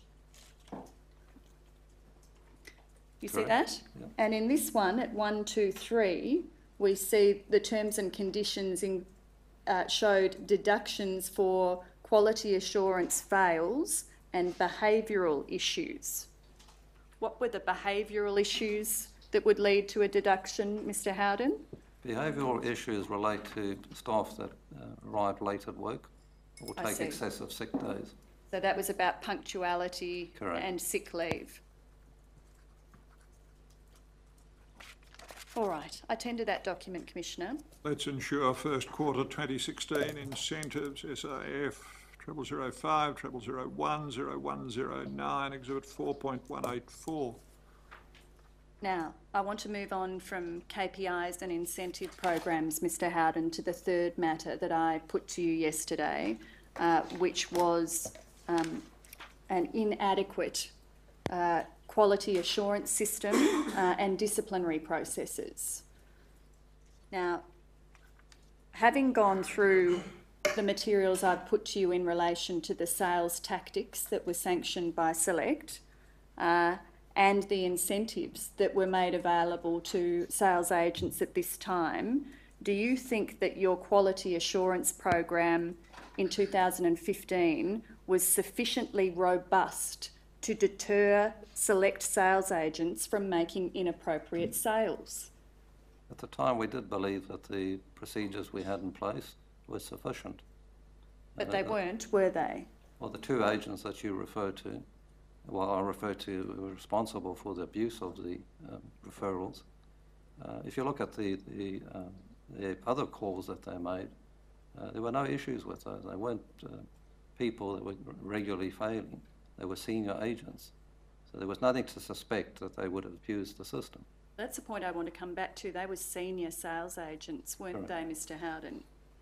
Um, now, can I ask you what you would describe as the key features uh, in relation to deterrence of your quality assurance regime at this time? Well, depending on the severity of, uh, of what's happened, uh, it could result in a loss of points, it could result in a loss of commission or dismissal. I'm sorry, I want to move to uh, consequences. Uh, I'd like you um, to firstly consider how your quality assurance program deterred people, stopped them, prevented them from engaging in the sort of misconduct that we see. Well, the, the intent is there for the agents not to engage in misconduct. And if they do engage in misconduct, um, there will be um, consequences, either loss of commissions or um, disciplinary actions. So the intent was that they not engage in misconduct. What I'm trying to get to is what you did to ensure that they did not engage in misconduct. Well, we did uh, regular listening of calls. Uh, we took a sample. Um, depending on the, the agent's tenure, uh, the more junior agents had a higher percentage of sales listened to. Um, the moment we detected uh, an incident, um, we straight away investigated it. We discussed it with the staff member. We listened to additional calls for that staff member uh, to see if there was a pattern there. So you listened to a random selection of calls, is that right? That's correct. And you focused primarily on the calls conducted by junior sales agents. Uh, we had more calls uh, with respect to junior agents versus senior agents. Yes. But if we picked up a, a problem with a senior agent, we would naturally extend the sample for that senior agent. But your sampling tended not to include calls from your senior agents. No, it does. As much as the junior agents? There's a higher uh, initial assumption is the junior agent, uh, because of training, getting familiar with the product. The more experience you have, the less likely you are to make silly mistakes. So it makes sense that for a junior agent that you would have a higher proportion of their calls listened to. I see. So your compliance manual that I took you to before, the 2015 compliance manual, it was amended in February of 2015 to include an example quality assurance marking sheet. Is that right? That's correct. And so prior to that time, your compliance manual didn't have a quality assurance marking sheet? It wasn't in the manual, but there was a separate scorecard which we have provided you with. uh, Control. Okay. Uh, so outside of the manual. Correct, but there was a scorecard. Can we look at the one in the manual from February 2015, which is uh, SAF 0009 0001 0057?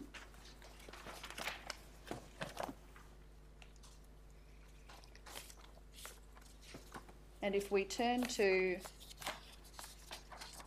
uh, 0081,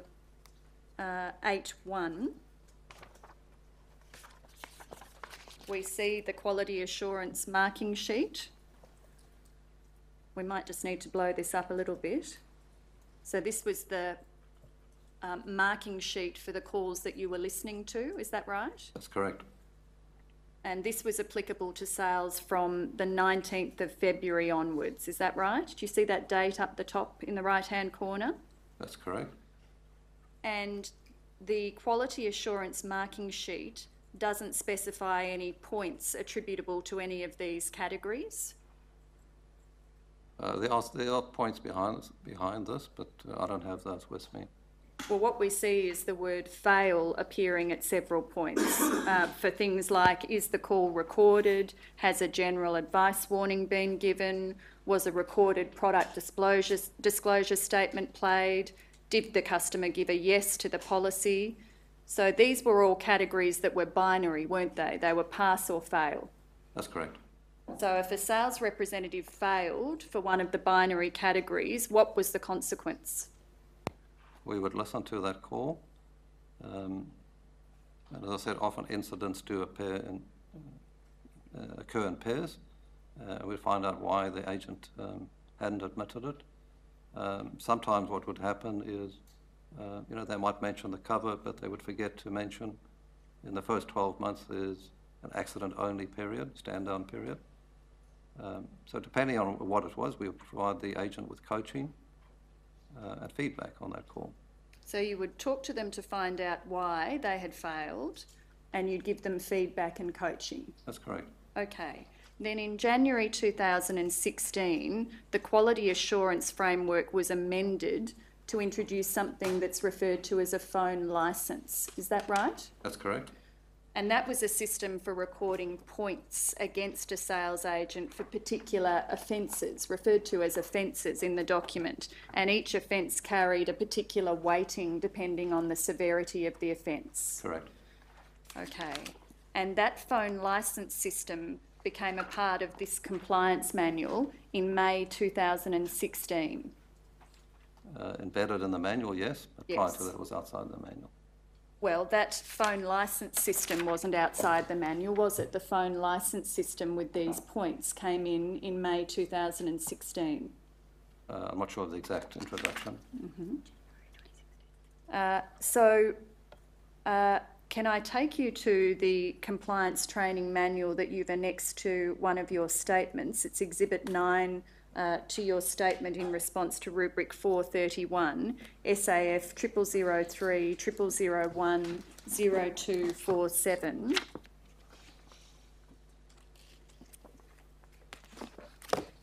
Uh, So this is uh, a later version of the compliance training manual. Yes, it is, because it's version two. uh, that operated from May 2016. We see that if it assists um, Mr Howden on the second page, 0248.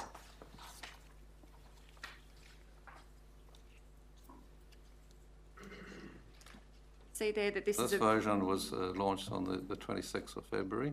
I see, no, uh, 26th of February 2015, 15, there was yeah. a previous version, which is the one I've taken you to earlier. 2.1 on the 18th of May. 18th of May is the version, 2016 is this version. And we see at 0272,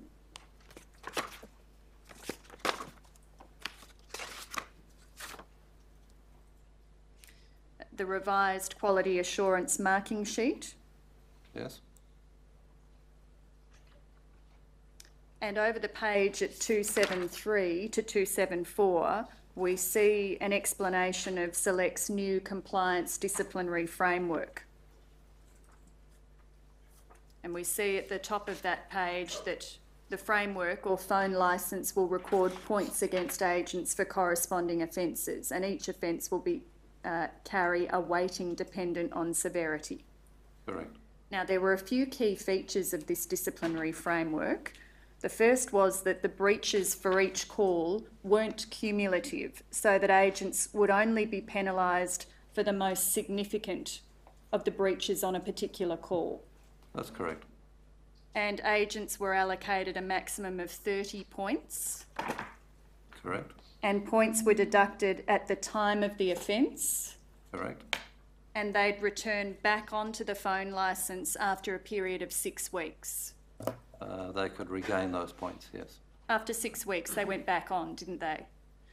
And that was said, we see from this document, to ensure that agents would continue to exhibit good behaviour moving forward.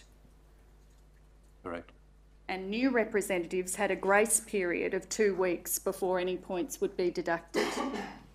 Correct. So that was the system. That's, that was the system, yes. Uh, was it adequate to only take the worst breach from a sales agent's call Well, so that could- we You could have uh, various uh, minor uh, incidents on a call, uh, incorrect spelling, um, uh, incorrect uh, re- recording of address. Uh, all of those w- would, would count. So you could have multiple offences on the same policy, but if it, um, the severity of the, the, the biggest um, event was the most important. so that's why there was a maximum of 10 points per call.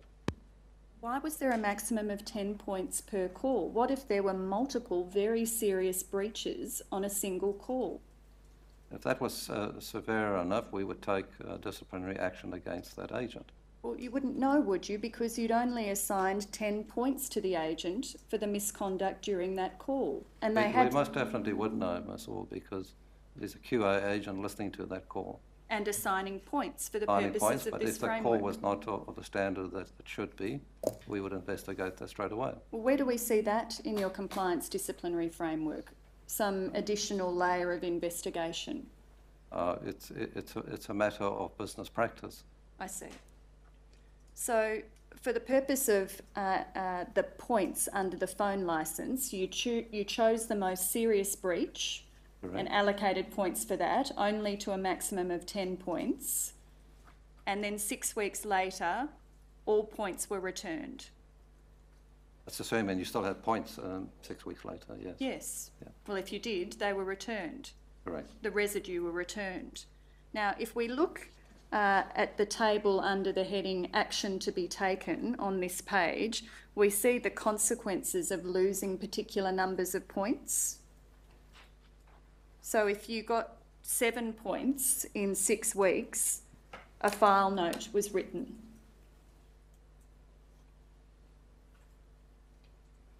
Do you see that? As soon as you got to seven points, you would get a file note, yes. You'd get a file note. Correct.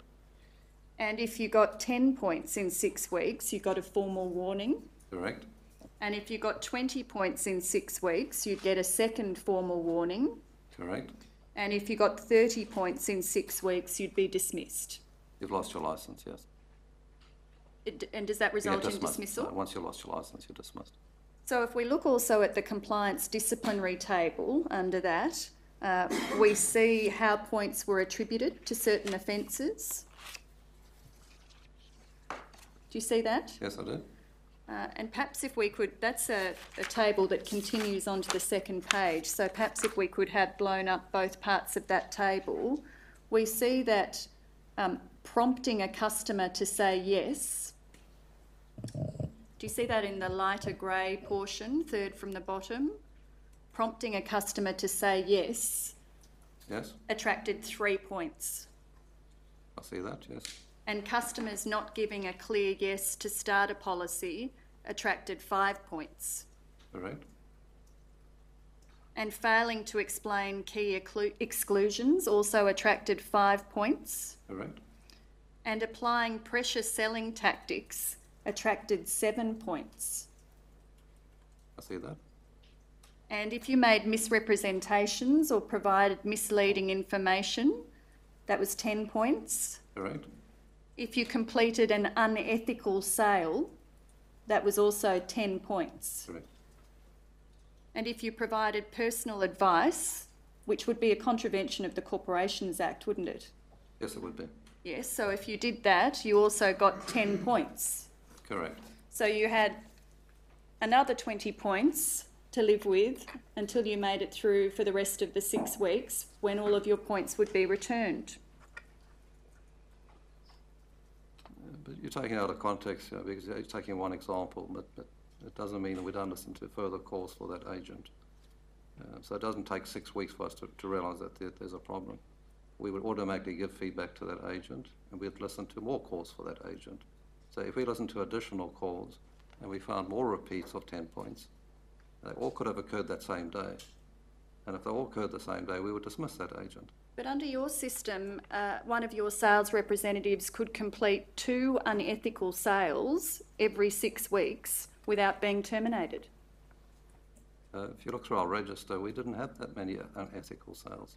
Well, but your system that you had in place to provide consequences for misconduct permitted your sales representatives to engage in two unethical sales every six weeks without being terminated.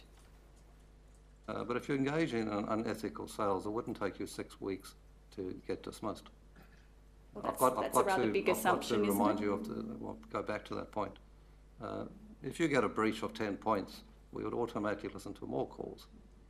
So it doesn't take six weeks for you to lose all your points. But if it was just isolated to that one call, uh, and the other calls we listened to didn't have the same behaviour, yes, it may take six uh, w- weeks and then you'll get back those points.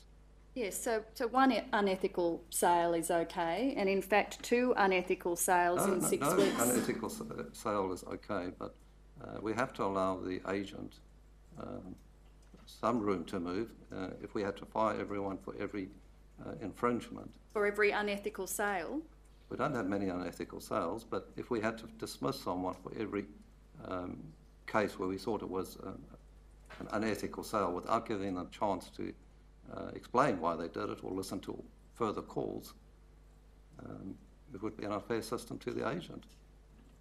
So under this system, your sales agents could engage in two sales that involve misrepresentations every six weeks and two sales involving the provision of personal advice. That, that's what the, the scorecard says. Uh, but if an agent, I've got to re, um, re-emphasise that point, if an agent was doing something that he shouldn't be, we would automatically listen to an extended sample. And if that uh, behaviour was uh, manifested itself in other cells, we wouldn't wait for those six weeks. Why, why was it appropriate to wipe the slate clean every six weeks?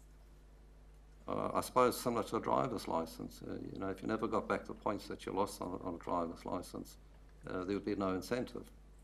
Uh, you've got to get the balance right in ensuring that we do take appropriate action. Uh, but if the agent realises that he's got no, uh, very likely, unlikely that he's going to get uh, his points back in the future, uh, it could drive, uh, conversely, bad behaviours because he could be driven to write a sale that he shouldn't and then subsequently leave us. I tender this document. Oh, I'm sorry, I don't need to tender this document, Commissioner, because this is attached to your statement. Um, what I want to ask you, having now gone through this document, Mr. Howden, uh, is whether you consider that your quality assurance regime in 2015, uh, which is prior to this regime we've been looking at, prior to the phone licence system with the allocation of points, was your quality assurance regime in 2015 sufficiently robust to deter your sales agents from misconduct? At the time, we did believe that the system we had in place uh, was sufficient. Um, like all other systems, that they have evolved over time. Do you believe that now, Mr. Howden? I believe on, on the uh, calls that we've listened to in 2015 and the uh, programs that we had in place, um, they were adequate at the time based on the samples that we took. They were adequate at the time, Correct. even though they did not prevent the misconduct which we've been discussing. Uh, again, I've got to draw it back to those two agents. So, uh, that, uh, for those two agents, uh, regrettably, we didn't pick up that pattern. And therefore, um, your systems were not sufficiently robust to deter the conduct. For that portion, yes, they didn't pick it up, yes. Um, I want to turn to how your Before you do, Ms Orr, can I just understand this? Does it follow from the evidence that you have given that giving personal advice, which is a breach of law, was not treated by your organisation as grounds for dismissal?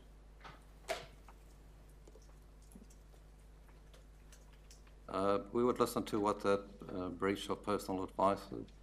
Um, sometimes an agent might uh, mistakenly offer an opinion, uh, which is strained to become personal advice. It was not the agent taking into account the uh, client's needs uh, and giving the personal advice in the truest sense.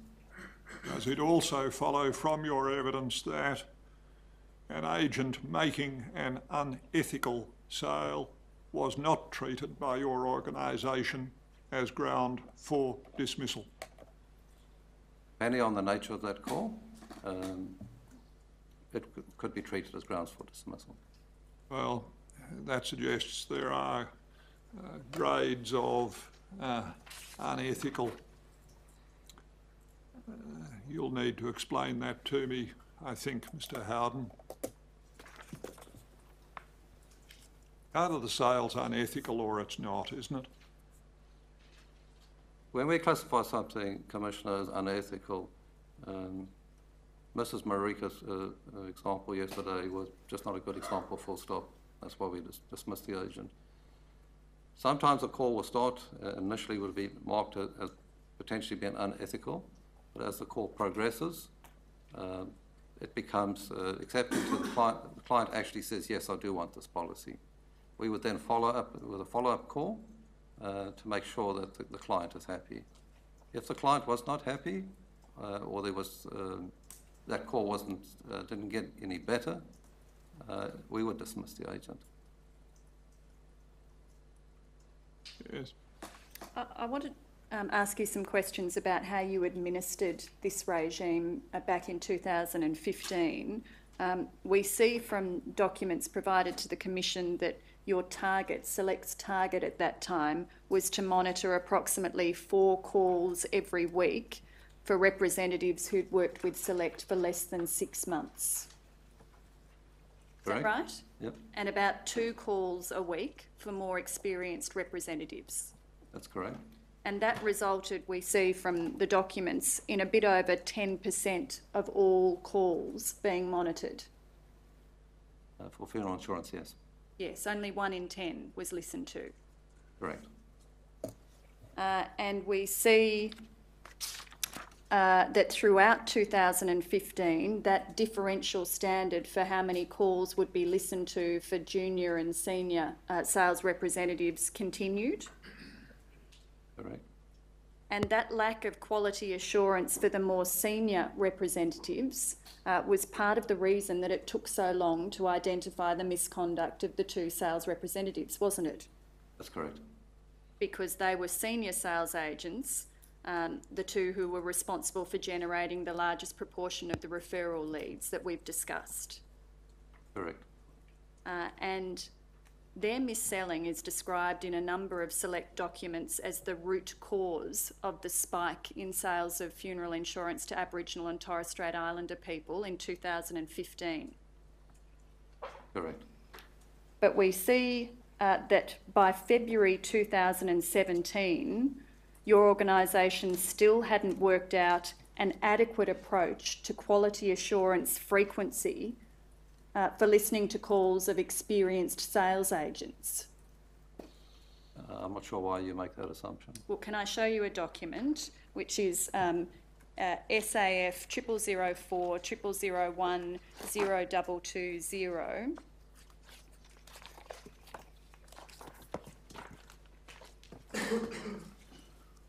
Now, this is back to the file note uh, dealing with the investigation.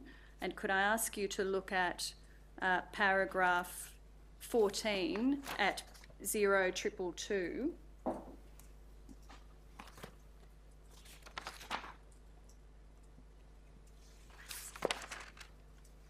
So this document is from February 2017, Correct. And we see that at that point, the parties are discussing establishing regular periodic reporting of the point status of sales agents and termination statistics and the broader quality assurance process findings and effectiveness, and that an appropriate approach is to be discussed and agreed. An outstanding question will be working out an adequate approach to quality assurance frequency for the experienced sales agents given the root cause of the spike. So you, you still didn't have an adequate approach to monitoring the activities of your more senior sales agents by February 2017. I think the introduction of the, the license system uh, certainly helped us um, to establish trends uh, because that was all available on the system. Uh, and we were able to establish trends, we were able to, um, where appropriate, listen to more calls for senior um, representatives. Well, it helped, but it wasn't enough, was it? Because you still hadn't worked out an adequate approach to the frequency of calls that you should listen to for your more senior sales agents. I agree that's what that document says. All right. And you agree that that was the case? Uh, I agree that uh, we've got limited resources. Um, we do make every attempt to uh, make sure we pick up behaviours.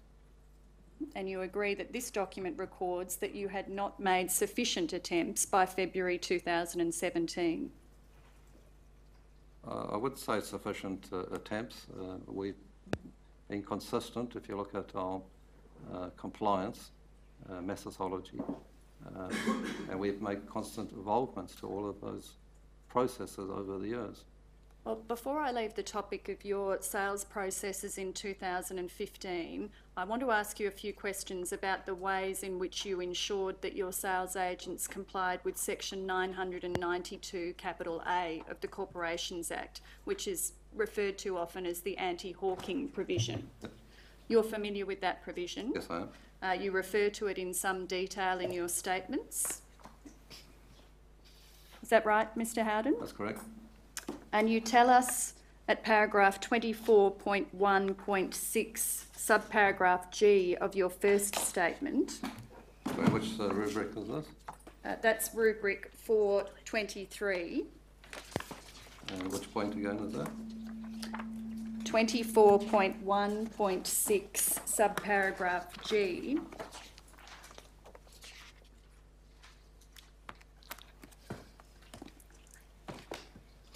Uh, yes? You tell us there that section nine hundred and ninety-two, capital A, three E of the Act, read with regulation seven point eight point twenty-two, capital A of the Corporations Regulations, means that select representatives were required to satisfy themselves that the customer had agreed to receive a product disclosure statement over the phone.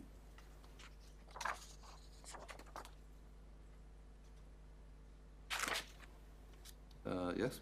Yes. And Select received legal advice to that effect in July 2013. That's correct. You've seen a document uh, that records that you were advised that if the person agrees that you can provide the PDS over the telephone, and if you are satisfied on reasonable grounds that they have received the statement, you can do it. This must occur before they become bound to purchasing the product. That was the nature of the legal advice that you received in July 2013. Uh, we did uh, receive subsequent advice to that. What was the subsequent advice to that, Mr Howden? Uh, that's under legal privilege. I see. So you've waived legal professional privilege over the earlier advice, but And not over the, the the subsequent. document that um, uh, initial opinion that we got. Yes, And then we uh, got legal advice subsequent to that. Yes. And you maintain legal professional privilege over the second advice that you received. Correct. And when was that second advice received, Mr Howden?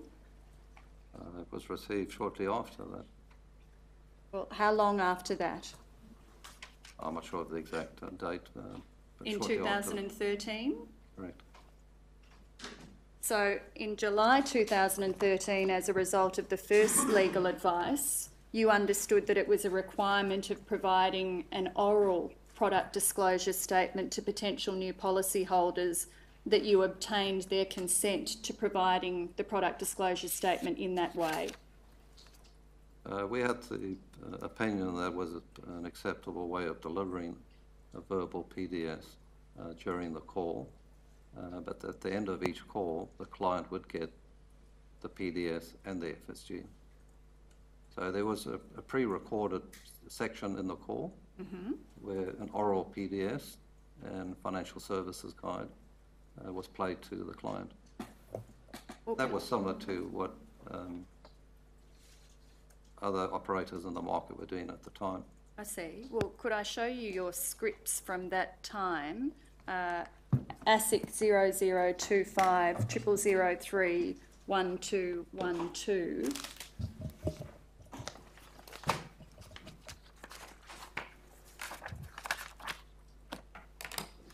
So this is a script used by uh, Select in 2015. That's correct? We see that it's effective from the 25th of August 2015 uh, to the 23rd of September 2015. Correct? And we see if we move through the script uh, to 1214 in the section payment details. Before I continue, I need to give you a product disclosure statement. I will play it to you now and it will take about two minutes. That's correct? That was what, that was the guidance that your sales representatives were given at this time about uh, playing the product disclosure statement? That's correct. So there's nothing in this script, is there, that suggests that a potential new policyholder was asked for their consent to receive the product disclosure statement in that way? Uh, the legal advice that we got uh, was the, the statement there telling the client that we would be playing them. And it's recorded in the script. Yes, but my question to you was whether there's anything in this script that shows that a potential new policyholder was to be asked for their consent to receive the product disclosure statement in that way. I just want to make sure you understand the different issues here. One being the permissibility of delivering the product disclosure statement orally, and the second being the obligation to receive the consent of the potential customer to receiving it orally. I think, oh, I don't have the script in, in front of me of, of that recorded message. Well, this is the script, and I'm happy to show you each page. I believe it's a document that was shown to you, or perhaps it may not have been. Um, it was a Can we look at the, the verbal PDS? Is that shown in the script? Uh,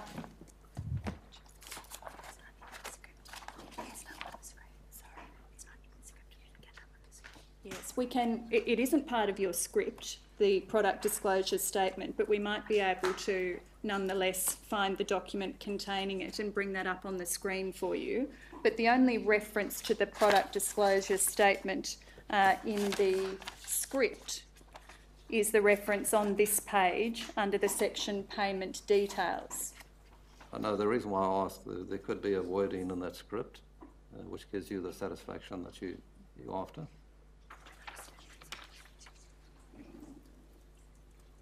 Well, Can, can we just come back to what you say about your, st- about this in your statement as well, Mr Howden? I'll tender this document first, Commissioner. Let's Insure product script 25 August 15 to 25 September 15, ASIC 0025 0003 1212, Exhibit 4.185. And just before we move away from this document, can I show you 1215, which is headed Recorded PDS and FSG? Do you see the red text there? Yes, I do. Now, is that the text of the product disclosure statement? Uh, that's the abridged uh, product disclosure statement, uh, which we received legal advice was at the time.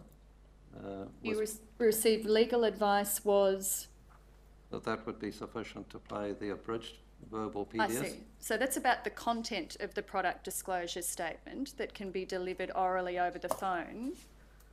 You accept, don't you, that a customer needed to consent to receiving the product disclosure statement in that way? I think if at the very bottom it was, please can you confirm that you have received and heard this message? Well, that, that's not asking for the consent of the customer to receive the product disclosure statement in that way, is it? Again, Ms. Orr at the time, we received a legal opinion at the time, um, we acted on that opinion. Well, I, I just want to come back to what you say in your statement about this, Mr Howden. If we could go to 24.1.6, subparagraph G, within your statement in response to rubric 423. You have that there? I'll read it to you again. You said, in accordance with section 992 capital A 3E, as modified by regulation 7.8.22 capital A, the caller was required to satisfy himself or herself that the customer had agreed to receive the PDS over the phone and to be satisfied on reasonable grounds that the customer had received the PDS. There's two different elements to that, aren't there? Yeah, I think, uh, and again, um, I'm not sure of the exact details, but this could be that uh, we got that consent at the time that the lead was generated. Um, You think you might have got the consent from the customer at the potentially. Uh, But do you have can't any? say definitively. Do you have any basis for thinking that that had occurred? Uh, well, the author that wrote, uh, wrote this uh, responded in detail to this point. Um, he responded to all these sections. Uh, it is part of my statement, and I accept that. But the person that compiled this, um, I'm sorry, the person who compiled what? Person that compiled all these uh, responses here to these uh, sections, Do you mean the person who compiled this part of your statement? Is that correct. Well, I, I accept it's my statement, but the, uh, the responsible manager that we had that looked through each of these points and responded to each of these sections would have taken into account all the requirements of the various acts. So did you satisfy yourself of these matters or did you rely on the responsible manager? I have no reason to believe at the time, I had no reason to believe at the time that they were deficient. Right, but did you satisfy yourself? This is your statement, not your responsible manager's Accept that. statement. Accept that. I- Is paragraph twenty-four point one point six, uh, G correct?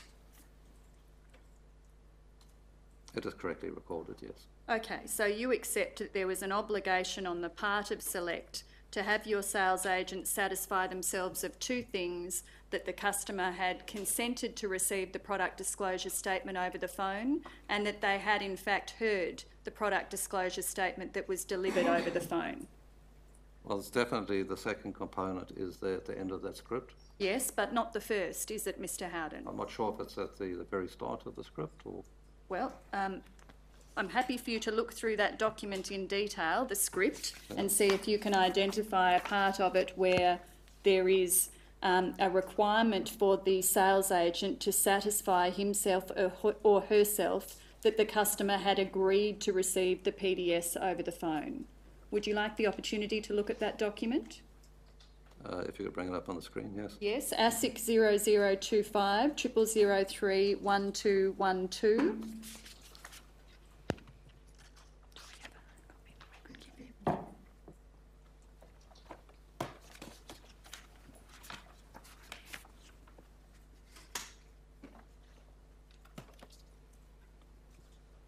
See Could you anything? go to the next page, please? Yes, one two one three. We have a hard copy that we could also provide to assist the witness with this, Commissioner. I can hand that to you, Mr Howden. If you go to the next page if you want. One two one four.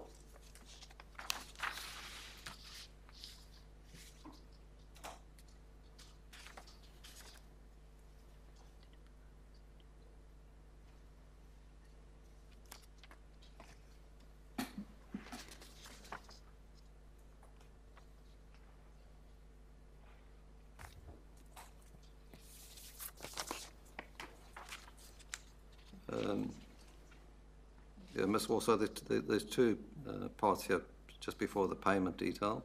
Yes, uh, Referring to the fact that we will be playing it, we will be playing it. the verbal PDS. Yes, that's the section on the screen at the moment. I will play it to you now and it will take about two minutes. And at the bottom of that script, um, you will see there's a section in green, uh, which is further reference to the PDS. At one two one five. The PDS you will receive contains details of our privacy statements and how we deal with your Right. personal information. Are you happy to read those privacy statements yourself?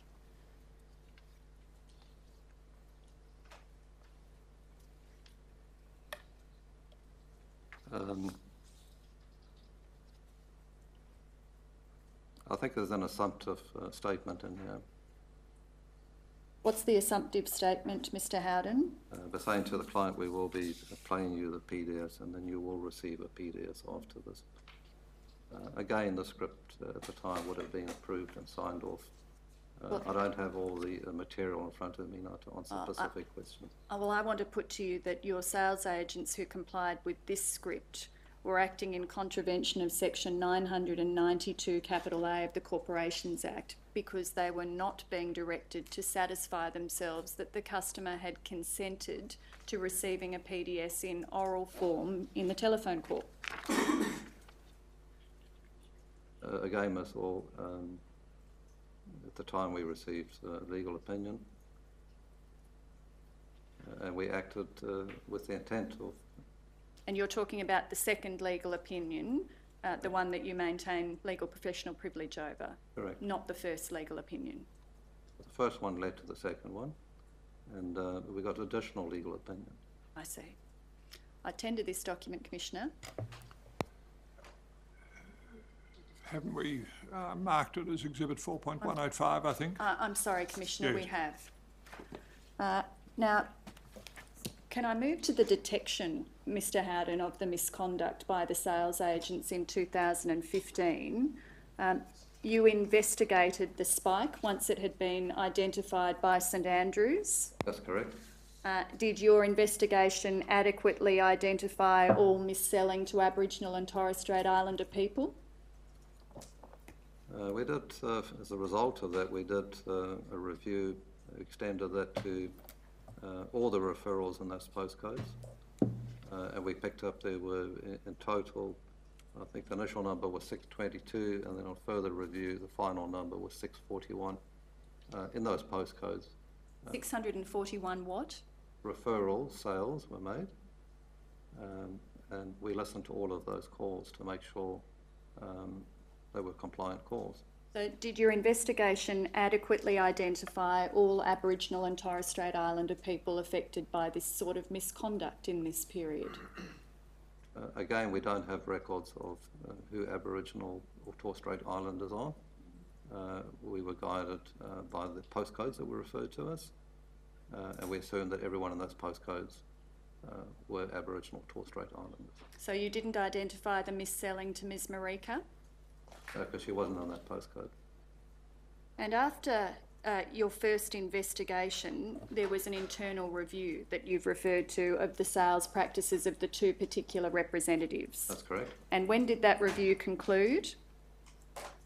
Well, I think that uh, we were notified in October, and I think it, it was towards the, um, the end of that year that we picked up, um, we had the analysis uh, of those agents. So your internal review went on till June 2017, didn't it? I know we had to listen to all the calls first, so we- Yes. we- the first part was to identify Yes. statistically uh, who we should be listening to. Yes. So that, that we completed uh, first, And then, and then we had to listen to all of those calls, and that took till June 2017? uh, as well as agreeing on the format uh, of the, and the extent of the remediation. Well, after your internal review, you terminated the employment of the two sales representatives of which we've been speaking. Sorry, what is that question again? After the review, did you terminate the employment of the two sales representatives? Uh, We had to listen to the calls first. Yes, I understand that. So after the review, which involved Correct. listening to the calls, Yes. in June 2017, did you terminate the employment Yes, of the two sales representatives? Uh, and you sent them termination letters? Uh, We had just, we called them and had disciplinary hearing, and yes, we gave them a You gave them a Termination termination letter, and in that termination letter, you told them that there was no doubt in the company's mind that they had failed to act with the utmost good faith by taking advantage of people in the postcodes with the high proportions of Indigenous clients. You recall that? Yes, I did. Now, was it your view that having terminated those two sales representatives, you'd effectively dealt with the mis-selling issues? Well, we knew that uh, we had to um, certainly look at the referral program, and we, we stopped that referral program. Yes? Um, and we had an active monitoring of those postcodes going forward to the extent that uh, we actively try and carve out those postcodes. In what way do you carve them out? Uh, in terms of lead generation activities, if it's online, we would say we don't, uh, to the extent that uh, online survey re- requires a postcode. Uh, if certain postcodes fall within that band, we don't want any leads from that um, postcode. Uh, if we get data and we know in the data uh, we've also got postcodes, uh, we'll wash that data through those postcodes to exclude those postcodes uh, from the, uh, the data that we may dial uh, or give to a lead provider to dial on our behalf. So you made a decision to stop selling your policies to people who lived in those postcodes. Is that what you're saying? Yes, we did. I see. Now, uh, throughout the investigation of this misconduct, this, uh, it was not to not sell to the, the people in those postcodes, but we wouldn't actively target those postcodes. But your sales model involves identifying a person as a potential customer, doesn't it? Yes, but we don't always know at the time of the call uh, which postcode they're from. Mhm.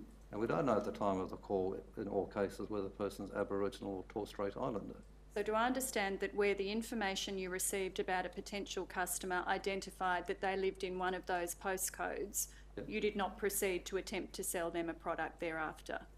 Uh, no, if the client, uh, if we, if the person has come through as a lead, notwithstanding those filters that we do have, uh, we will go through that product. We won't discriminate against that person. I see. If the customer approaches you, you would proceed with the sale? Or if the customer said, please give me a call back because lead Yes. provider, yes. Yes.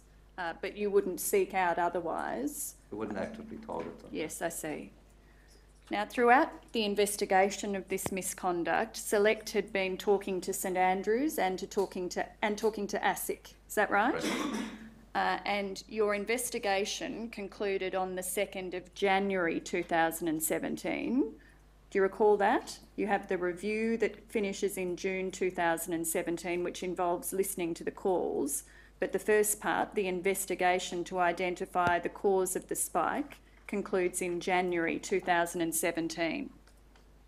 Uh, the, the first results were, were available in, in, in January 2017. Yes, you tell us in your statement that they were available on the 2nd of January 2017. And on the 17th of January 2017, St Andrews made a voluntary disclosure to ASIC about the mis-selling. Correct. And just prior to this, ASIC and Select had been corresponding about ASIC's concerns that Select's telephone sales processes contravened the anti-hawking provision. Do you recall that? Yes, but that was uh, in relation to a different brand, and we responded to that. But ASIC had been communicating with you about those concerns, concerns Right. about breach of the anti-hawking provision. Correct. Now, you tell us in your statement that when St Andrews made the disclosure to ASIC on the 17th of January 2017, it did so with Select's knowledge and cooperation. Uh, they, they informed us uh, that they would be um, having a, a meeting with ASIC, and we acknowledge that. That was what you meant when you referred to your knowledge and cooperation. But your opinion, Select's opinion at the time, was that the matters that were raised by St Andrews didn't indicate a likely significant breach of your obligations under the Corporations Act. We hadn't listened to the calls yet, so we couldn't determine um, the extent of, of, of the um, of the mis-selling. It's Only after we listened to the 641 uh, that we concluded that there were 240 sales that shouldn't have been made. I Uh, see. But the, the other sales, uh, uh, whilst they had been made to those postcodes, uh, were compliance sales. So that's why five months after the disclosure by St Andrews in January 2017, your disclosure to ASIC happened in June 2017. Yes, I've done. And the letter by which you made that disclosure to ASIC is Exhibit RH15 to your first statement, uh, SAF 0002 0001 0222.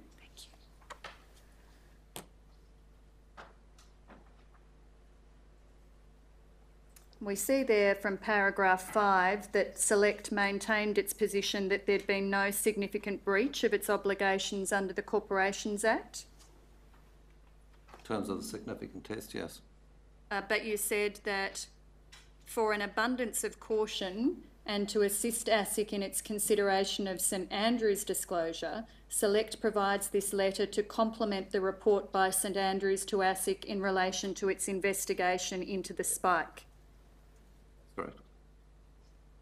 So, having maintained the position that the mis-selling issue was principally due to the two, the conduct of the two sales representatives, we see from this letter at uh, pages um, 0225 and 0226 that you went into some detail in the letter to identify why you thought there had been no breach of your obligations under section 912A, or if there had been a breach, why the breach wasn't significant. You see that? Yes, I do. Uh, so we see there uh, that your investigation in paragraph 23 is described as having shown that the referral practices were the main cause and no evidence was uncovered to suggest that the sales of the products were made dishonestly or unfairly. Then we see a reference to the two representatives responsible for the bulk of the affected sales in paragraph 24. Correct. Uh, and then at 26, we see that for those reasons, you conveyed to ASIC that you considered that if any breach occurred as a result of the increased sales of funeral products in the relevant postcodes, it was not significant. Nonetheless, we have reviewed and will take remediation action in accordance with the guidelines set out in RG 256. Uh, But you haven't read out um, uh, point 25. Yes? Point 25, um, 1 says, uh, "We have not had a large number of frequent experience of similar issues with other of our re- representatives." Yes, And they were so- isolated to So this was your reasoning as to why this wasn't a significant breach? um, overall, yes. Yes. Uh, But we see that you told ASIC that you were going to undertake remediation action nonetheless. Correct. And shortly after this, you met with, uh, you met with ASIC, That's correct. uh, and we see from Exhibit 16 to your statement, SAF triple zero two triple zero one zero two two seven,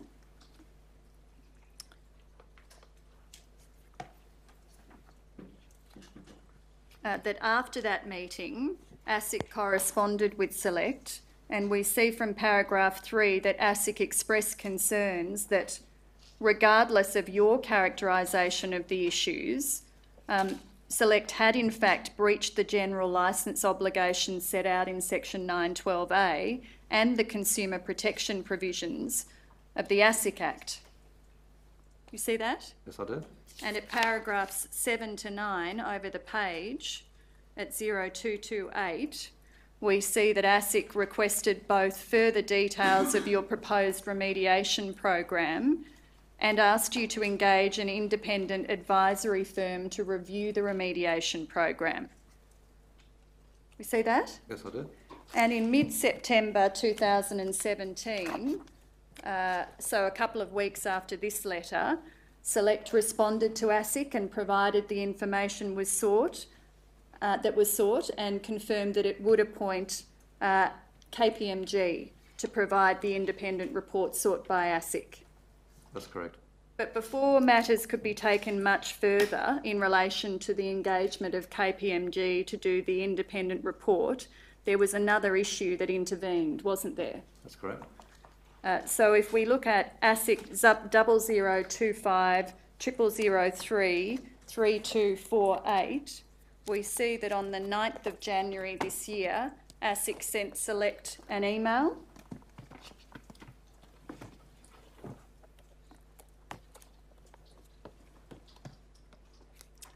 Uh, and we see from that email that was sent to Select, from the first paragraph, uh, apologies for the delay in responding to KPMG's draft terms of reference provided below. There are several reasons that have delayed our response, most notably due to information received from the project team who have been reviewing more recent select AFSL calls for the direct life insurance review project. I've been advised that the team reviewing these calls, which were from this financial year, have identified concerns not dissimilar to the concerns identified for the period January to September 2015. Specifically, the review team have identified concerns including pressure to close sales, even where the consumer raises a concern, use of the cooling off period and delayed payment to close sales, indexation or stepped cover not explained. Noting the ongoing concerns over the practices of Select AFSL in its direct sale of life insurance, ASIC is not able to settle its concerns based on a backwards looking review by KPMG, as previously discussed. We would like to meet with Select and KPMG to discuss ASIC's concerns that Select may not have the necessary policies and procedures and oversight to ensure compliance with the financial services law. That was the email received by Select in January this year. Uh, this is the email that was sent to Peter and Cecilia, wasn't it? Yes, Yes, it is. yes.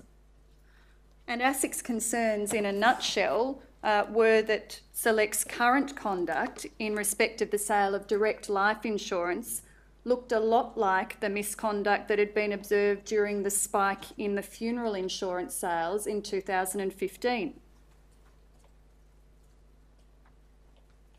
Uh, at the time, they um, conducted a review of the life insurance sector. Um, uh, and they listened to some calls and they felt that the calls, uh, there were too many objections in those calls. Well, they, their concerns about those calls are summarised in this email, aren't they? Yes. Attend to that email, Commissioner. Email ASIC to uh, select 9 January 18, ASIC 0025 0003 3248, Exhibit 4.186. And ASIC's concerns were further fleshed out in a meeting on the 19th of January this year and in a letter uh, sent to you on the 2nd of February this year. Sounds correct, yes. Yes? And if we go to that letter, it's Exhibit 18 to your first statement.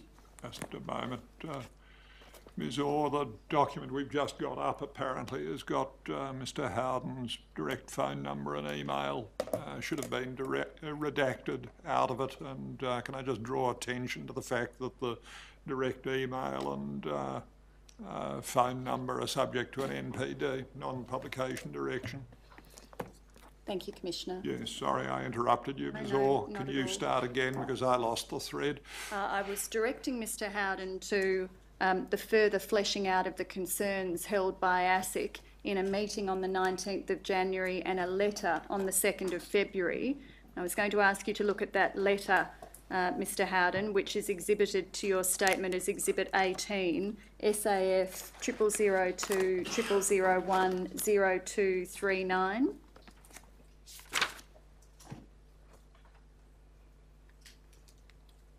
Now, this was a lengthy letter sent by ASIC to Select, we see on the 2nd of February 2018. And if we look to 0240, we see that ASIC expressed three principal concerns about what it was seeing in the more recent phone calls. We see them towards the bottom of the page. Our review of these materials gives rise to the following three main areas of concern about Select AFL's, AFSL's sales model. One, poor sales practices, with Select AFSL presenting as an outlier out of all firms in the review. Two, very high cancellation rates within the cooling off period and lapses within the first 12 months, which is an indicator of poor consumer outcomes. And three, deficiencies in some of Select AFSL's processes and procedures that contribute to or drive poor behaviour and concerns around a very sales driven culture that fails to focus on the consumer. Those were the three principal concerns of ASIC. That's correct. And those concerns took a number of forms, as we see from the rest of this letter. If we turn to 0241, we see that some of the issues in relation to poor sales practices were associated with sales staff providing inadequate explanations of important concepts or failing to provide the appropriate level of clarity about what consumers were being offered. You see that? Yes, I do. And for example, we see in the third dot point there that ASIC expressed concerns about select downselling consumers a form of more limited cover than what they thought they were buying. And ASIC noted that that could be devastating at claim time. That was only in respect of a, a client uh, who applied for underwritten life insurance um, and didn't qualify because of medical issues. Uh, the downselling they're referring to there is offering an alternative product, which is accidental death. Well, there were many other issues identified by ASIC, weren't there, Mr Howden? There were other poor sales practices issues that were associated with closing a sale. Do you see that on this page? Yes, I do. Uh, and ASIC was particularly concerned that the consistent use of deferred premium payments as a way of overcoming a consumer's objections, meaning that customers, consumers who want to consider the policy further or who raise concerns over affordability are persuaded to buy the policy now. That was another concern of ASIC. Commissioner, may I raise an issue at this point? As I understand this part of the letter, this relates to the sale of life insurance. Uh, there was a rubric that was sent to Select uh, concerning uh, life insurance, which was rubric 4-22, which Mr Howden provided a draft response to as requested. Uh, he was never requested to finalise that matter. Uh, and our understanding was the issue of life insurance criticisms was not to be within the scope of the questions that are being asked. Um, So my submission, that this is an area that should not be um, traversed. Well, I'm seeking to traverse this territory, uh, Commissioner, because of the similarity in the issues identified in connection with life insurance sales very recently and the issues conne- in connection with the sale of funeral insurance in 2015. Mr Cheshire, given the recency of the uh, communications with ASIC and the nature of the matters raised, why should I not allow exploration of these matters with Mr Howden, given the position he holds in the company? Well, Commissioner, um, I have no objection to it being shown to him in the sense of this is what AFSIC have said. But if, Commissioner, you are considering and it's being put to you that you should make some determination about the conduct of the sale of life insurance, which is what this now appears to be moving into, that was precisely what we responded to in rubric 4-22 and were requested not to finalise. So we have proceeded on the basis of not having to address that. If we do, then, Commissioner, we would seek time to go away and to put before you a finalised version of 422 and, if necessary, all of the material that goes to make up these criticisms. As you know, round six of the hearings will, uh, I think it's round six, uh, will focus on questions of insurance. Um, uh, no doubt, uh, if there is some uh, uh, question arising about the adequacy of opportunity to deal with matters raised in final address uh, in relation to this round of hearings, that is a matter that can be uh, uh, dealt with then. In the meantime, I'm not minded to uh, uh, cut off the examination that is occurring. May I just make one point in response to what, Commissioner, what you say to me? I, I understand the opportunity as to, as it were, address in closing. Commissioner, my, my submission is that it's a matter of procedural fairness in having Exactly. My, the point I was seeking to make was that if you consider that you have not had an opportunity sufficient to uh, meet a particular finding uh, which counsel assisting contend is open, that no doubt is a point that you will make to me. If you make it to me, I will consider it then. I make it at this point, which is this witness is now being taken by surprise, being asked to address on the run these issues that he that ordinarily the witnesses are entitled to have notice. Hence, the rubrics being sent out to the to the witnesses, indicating the areas on which they will be asked questions. I, I hesitate to interrupt, but I feel I need to, Commissioner, because I am taking this witness to a document which is annexed to his statement responsive to the funeral insurance rubric. This is an exhibit to Mr Howden's statement in response to rubric 423, which is a rubric prepared for the purposes of these hearings. Uh, I, don't accept the assertion that this witness is being taken by surprise in those circumstances where he has exhibited the document to his statement. So I will not uh, interrupt the cross-examination at this point.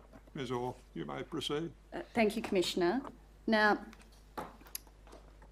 also on this page at 0241, Mr Howden, we see that ASIC was concerned about select sales representatives refusing to send out documentation requested by consumers to help them make a decision and telling those consumers that that was not Select's practice.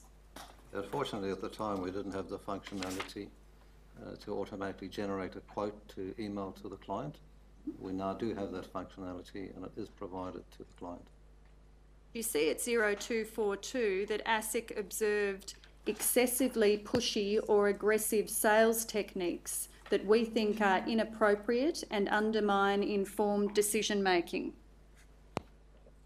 Yes, I see that. And amongst other things, we see there that ASIC expressed concerns about persistence in overcoming consumer objections, the speed with which calls were conducted, combined with the use of questions presented as statements that the consumer simply needs to agree to for the conversation to move on, and the use of inappropriate and pushy sales tactics such as staff firmly directing consumers to log on to their mobile phone banking apps while on the call to confirm their banking payment details. I see that.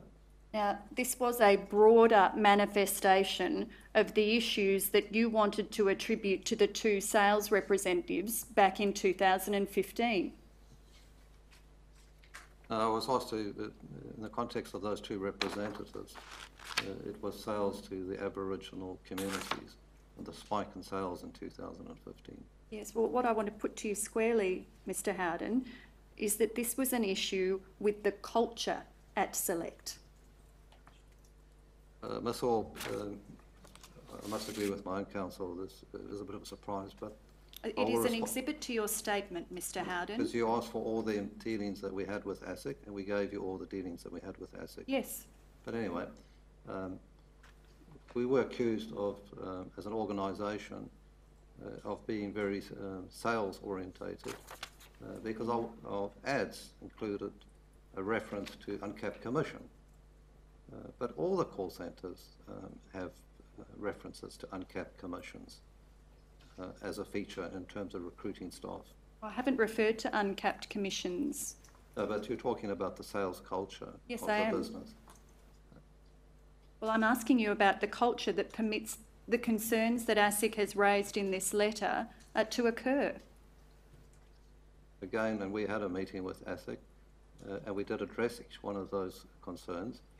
Uh, we've entered into a, a voluntary uh, program with them, we're still trying to work out the exact details of that. Uh, and, and we said we're happy to uh, listen to calls, uh, independent. We have engaged an independent remediator. We have changed our recruitment to remove uncapped commissions. So we're actively working with ASIC to try and overcome some of those concerns they've got. Well, we see from this letter that ASIC identified that 30% of the calls that it reviewed involved inappropriate sales tactics. Uh, well, originally the sample, um, yes, they, they identified 19 sales out of 55 sales, yes. And the next worst offender in their review across other life insurance uh, sales entities uh, had less than 10% of their calls indicating such practices. We did point out to ASIC, and they did note that, um, that uh, when they reviewed the, the life insurance sector, uh, most of the, uh, the players who provided information uh, were selling underwritten life insurance, um, whereas the, the bulk of our sales were guaranteed acceptance life insurance. Um, Well, the second major area of concern to ASIC was the very high cancellation rates within the cooling off period and lapses within the first 12 months, which it regarded as an indicator of poor consumer outcomes. And again, we did point out to ASIC uh, using um, a benchmark of uh, Strategic Insight, uh, 2016 report, uh, where they excluded cancellations occurring in month one. Uh, and they said that the, the average for outbound in the first year cancellations is 45%. Uh, our cancellations are 22%, excluding CFIs. Where do we see that in this letter, Mr Howden? You, you won't see that in the letter. No. And the third area of um, primary concern to ASIC related to deficiencies in your processes and procedures that contributed to or drive poor behaviour and concerns around a very sales driven culture that failed to focus on the customer. And ASIC had five sub areas of concern on that topic. The first that was that your sales training was unclear on what is acceptable and unacceptable conduct in the context of objection handling. And we have, uh, as a result of that, changed our objections uh, to a maximum of two objections per call, uh, where previously you- you were allowed uh, maximum of two objections per objection. And in respect of your quality assurance framework, ASIC expressed the concern that it didn't appear to be effective in appropriately managing the boundary between acceptable and unacceptable sales practices. Um, We have said to ASIC that uh, uh, we're happy to provide ongoing reviews to that. And ASIC was worried as well about your recruitment processes uh, because you sought to target money driven individuals and you emphasised the fun and the availability of perks and uncapped commission and made no mention of consumer outcomes. That's correct. We- We're competing with other call centres, and we use similar uh, recruitment terminology to those other call centres.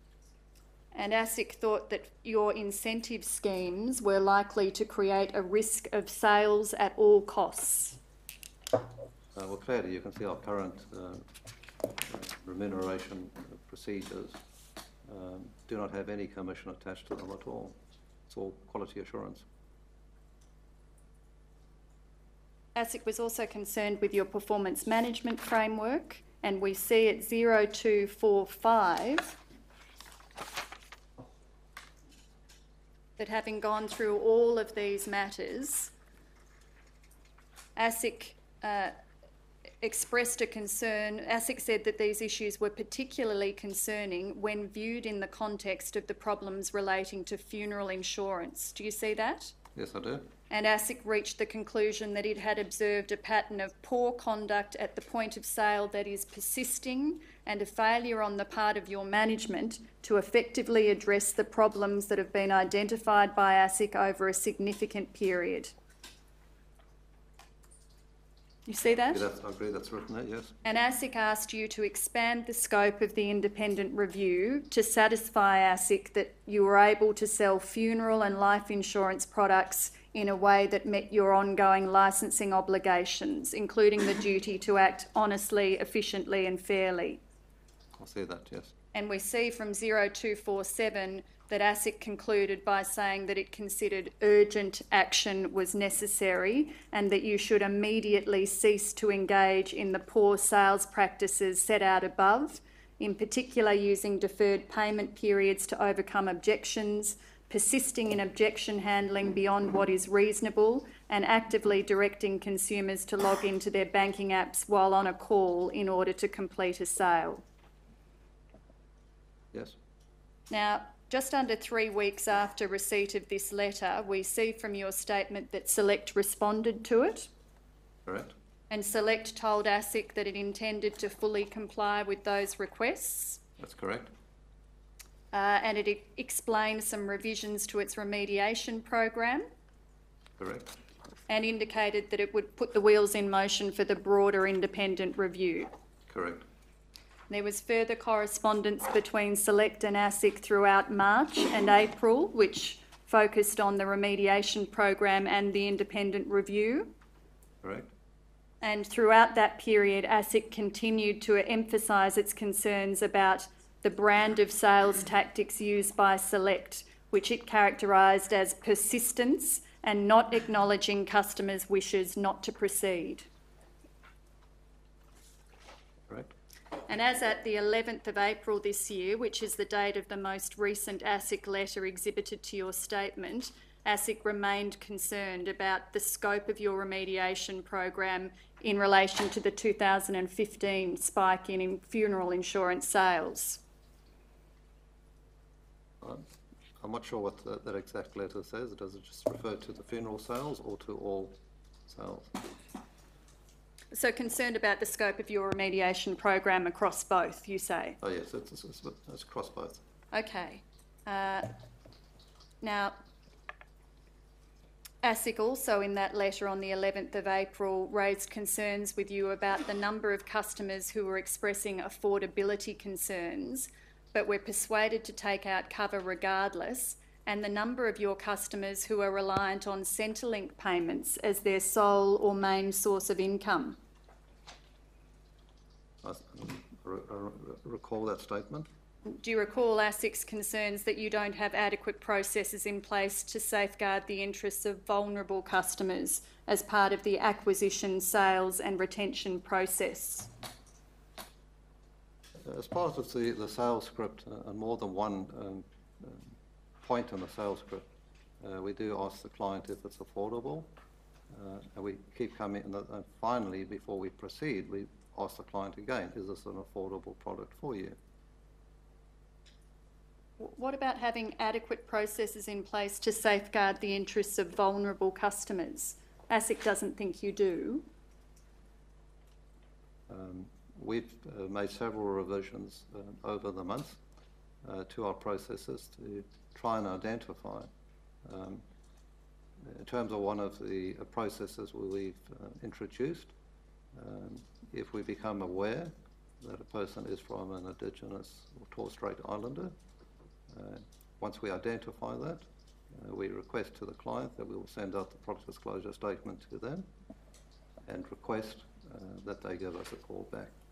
And it's included in one of my annexures in terms of the um, confirmation process. So that's now your procedure where a customer identifies themselves to you as Aboriginal or Torres Strait Islander We'll, person? we'll request, that- or we'll suggest to the client that we will send them the product disclosure statement. I- I'm sorry, I just want to make sure I understand what triggers that. Is it where a potential customer identifies themselves to you as an Aboriginal or Torres Strait Islander Correct. person? And do you ask your customers? We don't ask them.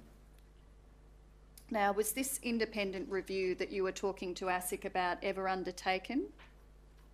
Uh, the scope has still been uh, determined with ASIC. Um, and I don't know how broad you want the response, but uh, ASIC suggested uh, we adopt uh, a formula-based approach uh, to potential remediation. We agreed with most components, um, but we haven't finalised the scope of that remediation exercise. I see. Now, Mr Howden, do you agree that there are clear parallels between the concerns that ASIC has been expressing very recently about your sales practices in relation to life insurance and the practices that led to the mis-selling issue in 2015? Uh, I do believe the 2015 issues were uh, not related. Not related. Uh, they were driven by two agents uh, and two incentives. They were driven by much more than that, weren't they, Mr Howden? They were driven by the sales structure sanctioned by your company, by the KPIs and remuneration structure by which you rewarded your sales agents, and by an inadequate quality assurance and disciplinary framework. Uh, I cannot agree that rewarding agents for productivity uh, is necessarily a, a bad outcome. There are clear parallels in relation to your treatment of vulnerable consumer groups for both sets of events, aren't there? Could you repeat that statement, please? There are clear parallels between your treatment of vulnerable uh, parts of the consumers um, uh, in relation to the conduct that ASIC has been looking at recently and the conduct that occurred in relation to funeral insurance in 2015. Uh, there is some overlap, I'll accept that. Um, has Select given a Section 912D notification to ASIC in relation to the 2015 misconduct yet? Uh, sorry, I'm not familiar with the, that section. a, as, I'm sorry, a, a, a notification of a breach, a significant breach under Section 912A of the Corporations Act. Have you ever given ASIC that notification in respect of the 2015 issues? Um, we got, got legal advice and we had a discussion with ASIC and, and we told them the, remediation program that we were, were carrying out. So do I understand that to be uh, an answer of no to my question, Mr Howden? And have you given a notification of a significant breach of 912A to ASIC in respect of the life insurance mis-selling issues that have been identified recently? No? Why not, Mr Howden? Um, because as we set out in the response to that letter, um, one of the um, conclusions that ASIC arrived at for the, the life insurance would help, uh, first year lapses were higher than the other people, other companies in that sample. Uh, and all the products were predominantly the products that we were selling were guaranteed acceptance products, life insurance products, which always do have a higher lapse rate than underwritten life products. So we did explain to them the difference between the two products. That's An underwritten life product will have a, uh, a higher first year persistency uh, versus uh, a guaranteed life product because it's a less uh, detailed process, uh, tends to have a higher lapse rate. So you've referred there to one narrow aspect of the many concerns identified by ASIC in the recent months. and we months. did say to ASIC that uh, we're happy to review calls. You told us yesterday that since the 19th of March this year, Select no longer promotes and distributes St Andrews funeral insurance products. That's correct. Why did Select stop promoting and dispute, distributing those products? Uh, well, as set out in my response to my statement, uh, changes to the remuneration in the life insurance uh, remuneration arrangements uh, means as a distributor we're no longer able to get um, upfront allowance of 100% or more uh, to cover the policy acquisition uh, costs. Um, essentially, from the 1st of January, we've are what we call a level commission option. Commercially, we just don't have sufficient um, funding, if you want to call it, uh, to support our policy acquisition process. You say in your statement it's no longer commercially viable for you to do this under the life insurance framework reforms. Correct. And when you're talking about the life insurance framework, are you referring to the changes to the Corporations Act that provide for caps on the amount of commissions that may now be received for life insurance products? Uh, yes, yes. Uh, and they created new arrangements for clawing back commissions that had been paid. Correct. And those changes came into effect on the 1st of January this year. Correct. But they were announced well before then, weren't they? That's correct. They were announced on the 6th of November 2015 Correct. and they were enacted on the 22nd of February 2017. Correct. And ASIC announced what the commission caps and clawback amounts would be on the 5th of June last year. Correct. So you knew by June last year the effect that the life insurance framework would have on the commercial viability of your distribution arrangement with St Andrews. And that is why we were in discussions uh, with St Andrews, uh, as well as other um, insurers, uh, to see if there was an alternative model. An alternative model would be uh, for the insurer uh, to pay for the lead acquisition costs, because ultimately it is an expense to the insurance company. Um, but we weren't able to negotiate an alternative arrangement to the funding, uh, so we had to self-fund for the first two months. When did you work out that you weren't able to negotiate an alternative arrangement? within two months, Within two months from uh, the end of February end of February, which year? 2018.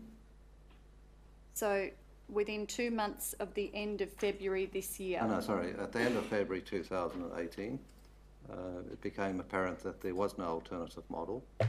Um, How did it become apparent? um, because we consulted with other uh, uh, operators in the industry, uh, pretty much there's two models, either you're an insurer, uh, and there's really no caps in terms of uh, structures there because you're an insurance company. Um, and then we consulted with um, other distributors, uh, and they weren't able to negotiate other arrangements. So when did you last enter into a new distribution arrangement with St Andrews? Uh, 1st of January 2018. So you entered into that agreement in December last year Correct? with effect from the 1st of January. Correct? So at that point, you had every intention of continuing to distribute St Andrews funeral insurance products. That's correct? Uh, then in December 2017, St Andrews came and conducted an on site compliance visit at your premises, didn't they? They did? And as a result of that visit, they developed a series of recommendations that you were required to implement in 2018. Correct? And could I show you BOQ triple zero one zero double one two double zero nine two?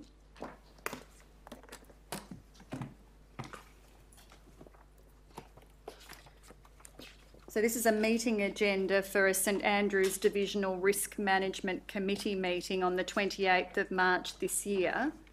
And if we turn to 0093, we see that one of the agenda items for that meeting was a select AFSL on-site visit actions update. And we can see that a paper, paper three point three, was prepared for that agenda item. You see that? That's the first time I've seen this. Right. Well, let's turn to 0140 in this document, which is the paper. We see from this that the paper prepared by St Andrews Divisional Risk Management Committee shows at 4.1 that as a result of the on-site visit, a number of draft recommendations were made to select, resulting in the parties agreeing to an action to be implemented over the course of 2018. We see that the agreed actions, timeframes and updates are set out in an appendix, which is at four, four. Four, is the first page. So if we could turn this round, we can see that this sets out the recommendations made by St Andrews uh, for Select. Uh, and the first recommendation was that Select increase the resources that it devoted to compliance. Do you see that? I see it now, yes. And in response, Select said that it had no current plans to expand compliance resourcing. I I see it in this document. And at 0144, we see that the second recommendation related to the first, it was for Select to create an independent compliance function, for example, by appointing a dedicated compliance manager. See that? That's all, I see this for the first time. uh, Yes, I understand statement. that. I'm just asking you to read it on the screen, Mr Howden. I can see it on the screen, yep. And you see the entry there reflecting that Select said it would not do this. I see an entry there, yes. Uh, and then we see from following pages, which I'll ask you to um, be shown, 0145 and 0146, that there are other recommendations, all with target dates for periods from February to May 2018. So Select agreed to make some changes as a result of these recommendations, I've never seen these, uh, this report before. but you're aware of these recommendations, I'm aren't not, you, I'm not Mr aware of Howden? all these recommendations, no. These were recommendations made to Select by St Andrews. That's all, this is the first time I've seen this report, this I document. understand that, Mr Howden, uh, but you're here on behalf of Select. Are, are you saying that you are unaware of recommendations made by St Andrews aware to that, uh, Select as a result of the on-site compliance visit? I'm aware that um, St Andrews uh, paid us a, a visit in December. Yes, Uh, they made some recommendations. yes, Uh, by and large, they said that they were happy with uh, most aspects of the business. They also provided us a report that said culturally that they were happy with the culture of the business. Um, and they suggested that we increase certain uh, calls and retention. The, the, the facts that you're tabling here, I haven't seen this report before. I understand that, Mr Howden. I'm asking you to read it. Uh, and I'm asking you to consider what's in this document, which suggests that you were asked to make significant, significant compliance changes, and you indicated that you would not do so. We never said we would not do so, and that I can categorically say is correct. So the contents of this document are inaccurate. Is that your evidence, Mr Howden? Yeah, I would say that they are inaccurate, yes. I see. I tender that document, Commissioner. St Andrews Risk Management Committee, uh, meeting papers, 28 March 18, BOQ treble zero one zero one one two zero zero nine two, exhibit 4.187. So around the same time as these events, the correspondence with ASIC is occurring. You received the letter that I took you to earlier from ASIC on the 2nd of February this year, raising all the concerns I took you to, and you responded to that letter on the 23rd of February 2018. And you provided copies of that correspondence to and from ASIC to St Andrews, didn't you? Correct? Uh, and in early March this year, on the basis of the concerns that had been raised by ASIC in its correspondence, St Andrews conducted another on-site compliance visit at your premises. This time it went for over two days, didn't That's it? correct. And the purpose of that visit was to assess the effectiveness of the changes that you were to make to your sales practices as a result of the concerns raised by ASIC. And I preface that, that all the, the scripts were approved by St Andrews. And that visit was to, uh, to ensure that we were following the scripts that St Andrews had approved. What letter was to ensure that? The, the, uh, the visit in March by St Andrews uh, was substantially to ensure that the representatives were following the scripts that had been approved by St Andrews. So you agree it And was all the to... changes that St Andrews requested, we made to those scripts. We made to those scripts. You agree with me that it was to assess the effectiveness of changes that you needed to make to your sales practices as a result of the concerns raised by ASIC?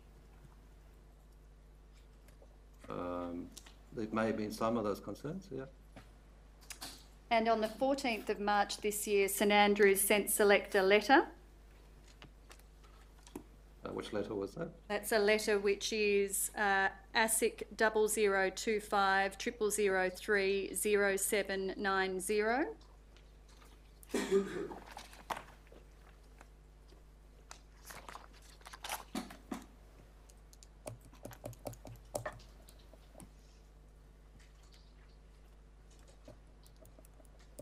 A letter directed to you, Mr Howden, on the 14th of March 2018 from St Andrews.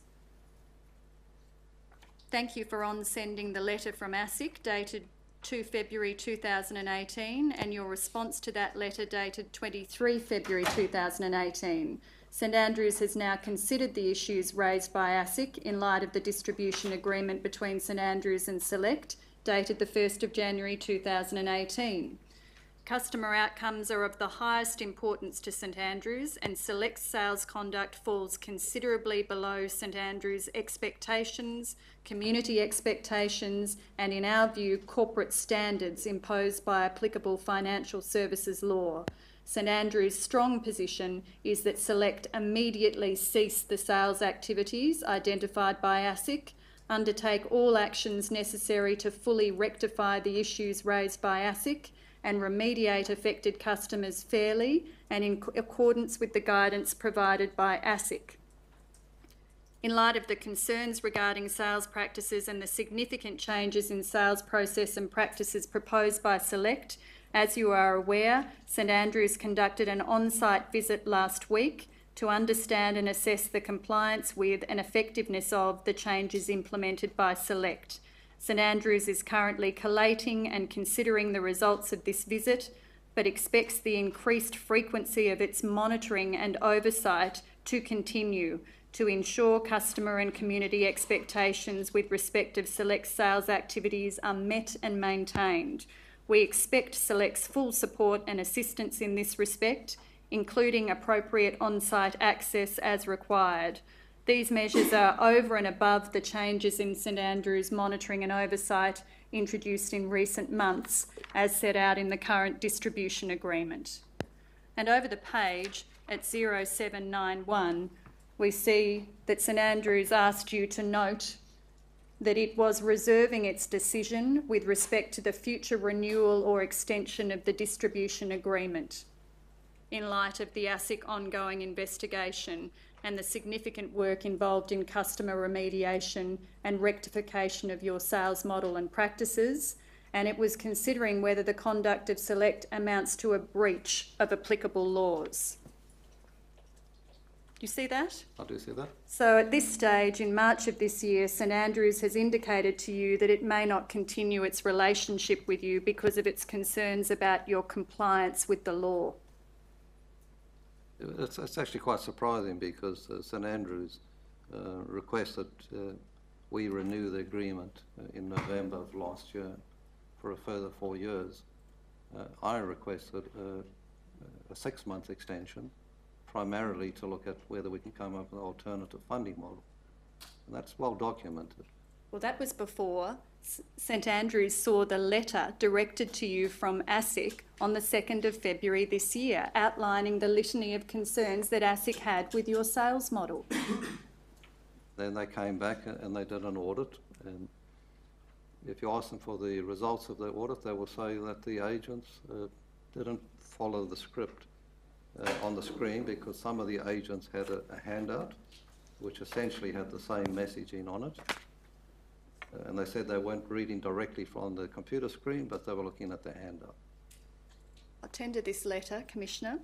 Letter St Andrews to Howden, 14 March 18, ASIC 0025 0003 0790, Exhibit 4.188.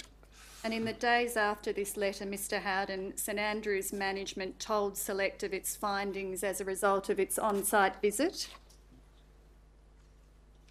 After this letter, yes, they told me this, yeah. Well, after this letter, Yeah. you recall in this letter they said that they were still considering and collating the results of their on-site visit. Right? And in the following days, they told you of their findings. Uh, and as a result of those findings, it was agreed that all sales activity by Select would cease until the concerns raised by St Andrews had been resolved to the satisfaction of all parties. That's factually incorrect. We never ever stopped selling, or they never told us to stop selling. Uh, we elected uh, Select AFSL, and again for commercial reasons, uh, to stop selling. Well, could I take you back to BOQ triple zero one zero double one two double zero nine two, the meeting agenda uh, for the St Andrews Divisional Risk Management Committee on the twenty eighth of March, and ask you to look at zero one four one. You see on that page when it comes onto the screen a select AFSL general update which refers to the two-day on-site visit. What point's this? 5.1. 5.2, management submitted their high-level findings to select on the 16th of March, where a number of next steps were made as a result of the visit, including uh, as a result of the visit, including that sales activity be ceased until such time as the concerns raised in the findings and recommendations have been resolved to the satisfaction of all parties. Select advised on 19 March that all sales activities had been ceased. So, three days after the communication from St Andrews requiring that course. That's all. I never received this uh, communication from St Andrews. This is another inaccurate statement in this document, is Well, it, I would, Mr I would Howden? request that St Andrews can show me a statement saying that we should stop all sales, addressed to myself or any other member of our company. Well, a few weeks after this, on the 4th of April, Select sent two letters to St Andrews. One of them responded to the letter that I've just shown you from the 14th of March, and there was a separate letter which is BOQ triple zero one zero one zero six zero one zero four.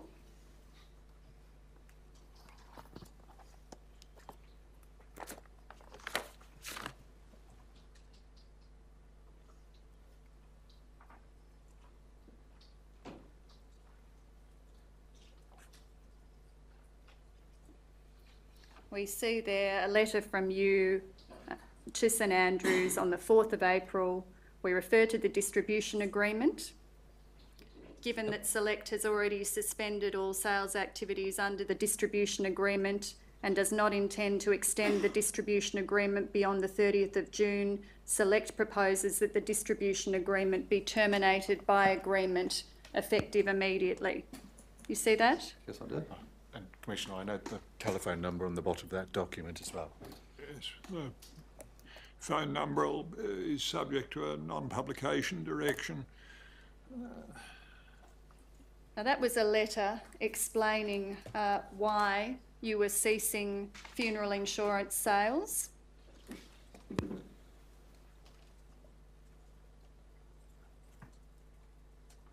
That was the notification to St Andrews uh, that we would be ceasing. You weren't ceasing um, funeral insurance sales because of the life insurance framework changes, were you, Mr Howden? Uh, we sent a letter to St Andrews telling them that we would, would stop selling. I want to be I think to put, to put some context to it, we had already reduced the number of sales agents, effective 1st of March, to four agents. Four agents from a team of 25, because of the commercial constraints that we had in terms of financing.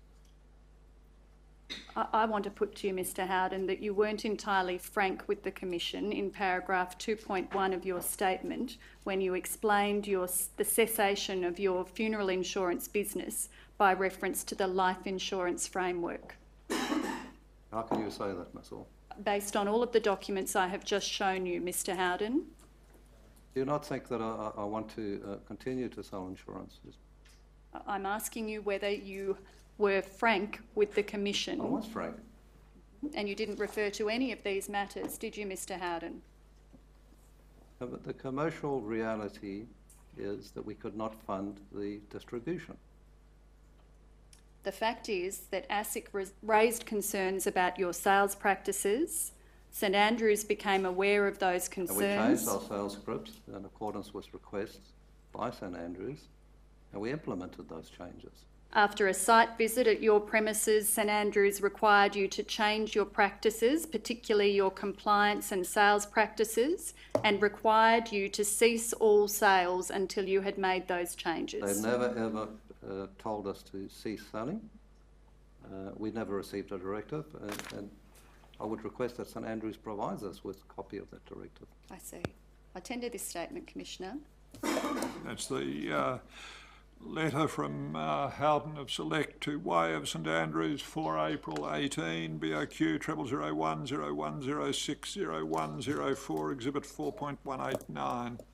Now, Mr Howden, throughout the period that Select St Andrews and Bank of Queensland were corresponding about this distribution agreement, you were all also discussing how to manage your relationship with the Royal Commission, weren't you? What do you mean we're trying to, and I wasn't aware that we're coming to the Royal Commission. Well, let me show you some documents, uh, Mr Howden. We'll start with ASIC 0025 0003 1015.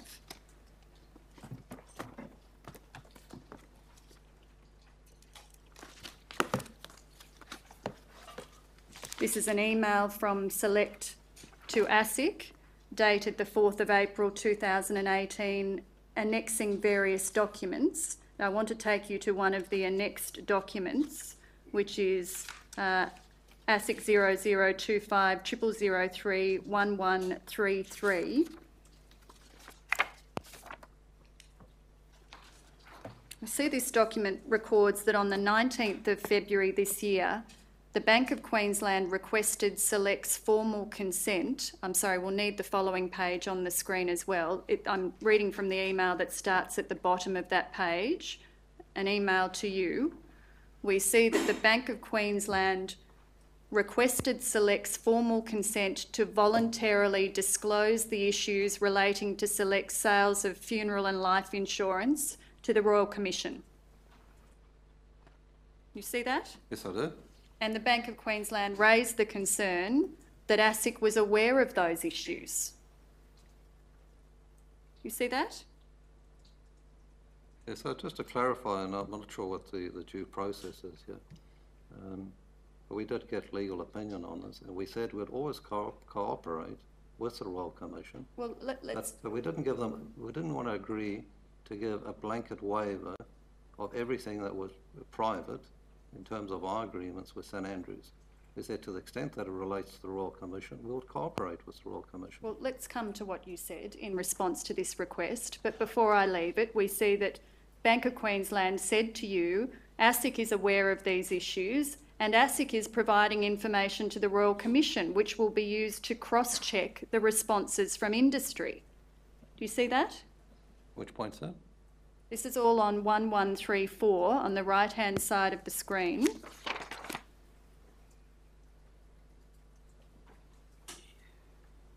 See that the Bank of Queensland said, We assume ASIC would have disclosed any matters relating to actual or suspected licensee misconduct or behaviour falling below community standards and expectations to the Royal Commission, and this may have included information relating to the issues with uh, funeral and life insurance. And again, I've got to come back to what I said earlier. We didn't say we would not cooperate with the Royal Commission. Well, I, I want to take you to how you responded to this email, Mr Howden, but this is an email that you received from a representative of Bank of Queensland, the owner of St Andrews, on the 19th of February 2018. Do you agree? Yes, I do. Thank you. I tender that document, Commissioner. Uh, Is it simply the email or the whole uh, I think it's- attachment? It's sufficient for me to uh, um, tender Annexure B, Commissioner, which starts at uh, ASIC 0025 0003 1133, and it's Annexure B, um, which is one of the annexures to an email from Mr Howden to Barbara Butner of ASIC on the 4th of April 2018.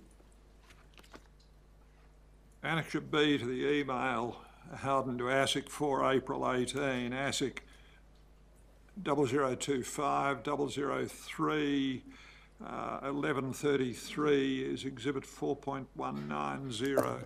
Now, your response to that email is within this document. Do you see that, Mr Howden? Two days later, you responded to the request from the Bank of Queensland on the 21st of February. You said, Thank you for your email. We do not consent to the request to voluntarily disclose confidential information of Select about the issues as defined by you. In particular, we do not consider there to have been any misconduct or falling short of community standards or expectations arising out of any matter which would bring it within the scope of the Banking Royal Commission. That was your response? Correct? Now could I ask you to look at ASIC 0025 0003 0790?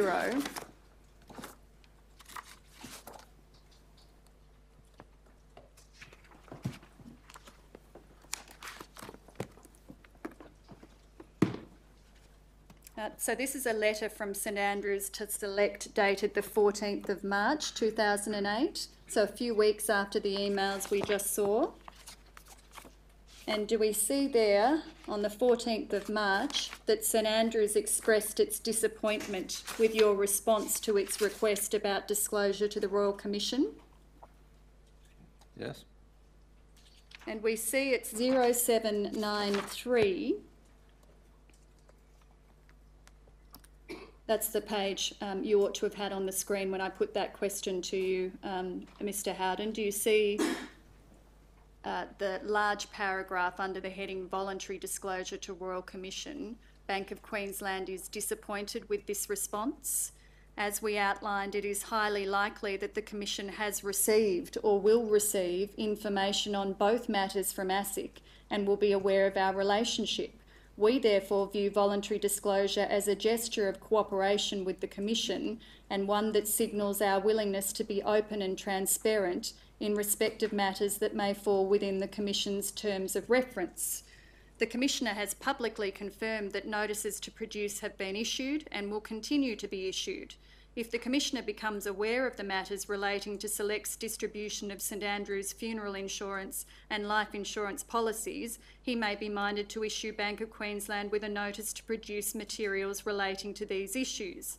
At this point, Bank of Queensland will have no option but to produce the material requested by the notice, irrespective of your position on consent.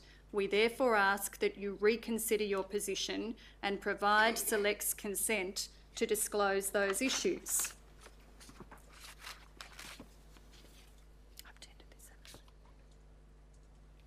Uh, that was the communication you received, Mr Howden, from St Andrews Insurance on the 14th of March 2018. That's correct? And in response to this, Select again refused consent to disclose the information.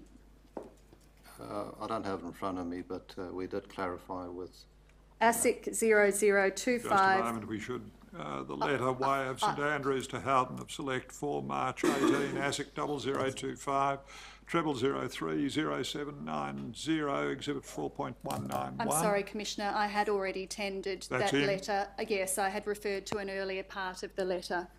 Then we need to mark point- it again. 4.188. Uh, uh, ASIC 0025 0003 1020, a letter from Select to St Andrews dated the 4th of April 2018.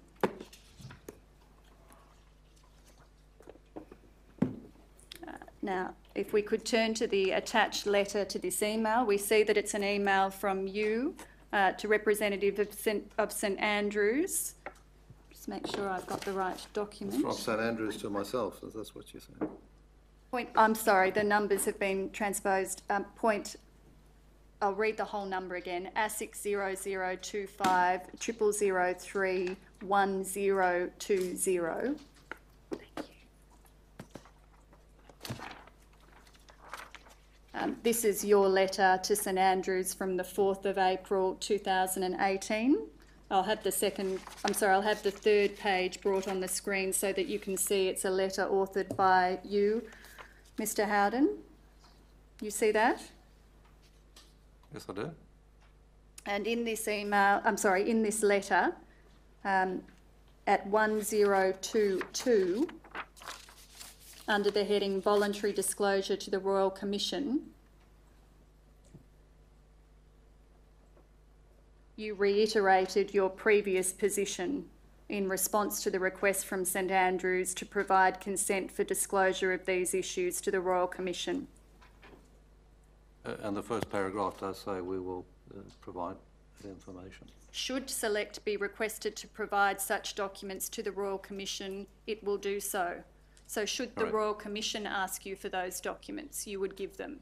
Correct, well, for requested uh, by, Yes, but you had not disclosed and you had not given St Andrews permission to disclose Legal the very advice. misconduct, had you, Mr legal Howden? advice, Ms Orr, that we got was not to agree to a blanket waiver of all confidential information, but I if see. specific information was requested, we should provide that, and it was intended to do so. In this letter, you reiterated that you do not consider there to have been any misconduct or conduct falling short of community standards or expectations arising out of any matter which would bring it within the scope of the Banking Royal Commission. That's correct, that was our belief. Now, you heard Ms Marika's evidence yesterday, uh, Mr Howden? I did. And you've given a series of answers to questions from me throughout the course of this morning and yesterday afternoon. And in light of all of those matters, do you maintain that there has been no misconduct or conduct falling short of community standards or expectations on the part of Select? Uh, I, I- can agree with you that there have been incidents, but I ca- cannot agree with you that the, uh, the whole business can be classified as such. But there have been incidents of misconduct and conduct falling below community standards and expectations that required disclosure to the Royal Commission, haven't there, Mr Howden? We have responded uh, with our reasons to those. Yes, after the Royal Commission issued you with rubrics for statements and compulsory notices to produce documents, And we previously provided information to ASIC as well. but not to the Royal Commission. When requested by the Royal Commission, obviously, we did provide information. You did not voluntarily disclose anything to the Royal Commission and you did not provide consent to St Andrews to voluntarily disclose. We did agree that if St Andrews was required, we would cooperate with St Andrews. Yes, but you did not permit them to voluntarily disclose the misconduct, nor did you voluntarily disclose it yourself. Correct. Now, attend to that letter, Commissioner. Letter Howden of Select to Way of St Andrews, 4 April 18, ASIC 0025 0003 1020 is Exhibit 4.191. Now, I, I want to deal finally, Mr Howden, um, with the evidence of Ms Marika yesterday in court. You heard that evidence? Yes, I did. You heard that Ms Marika was first contacted in August 2015 by an external lead provider. Correct. And you say in your statement that on that occasion, Ms Marika confirmed her acceptance to receiving a call in regard to funeral insurance. Correct. Now, having heard Ms Marika's evidence yesterday, do you consider that Ms Marika wanted to receive a follow-up call about funeral insurance from Select? Uh, she did participate in uh, uh, phone survey where she did uh, agree to get a call back. Having heard Ms Marika's evidence yesterday, do you consider that Ms Marika wanted to receive a follow-up phone call about funeral insurance from Select? I heard it from Miss Marika yesterday. I agreed that she didn't want to get that call. But Select made a call to Ms Marika for the first time on the 25th of August 2015? Correct? And in your statement, you say that that call was interrupted due to the phone connection being cut. Yes? But just prior to that call being cut, Ms Marika had clearly indicated that she did not have any interest in taking out a policy with Select, hadn't she? Correct. Uh, she indicated that she can't have two, both mine, referring to two funeral insurance policies. Do you recall that? Yes, I do.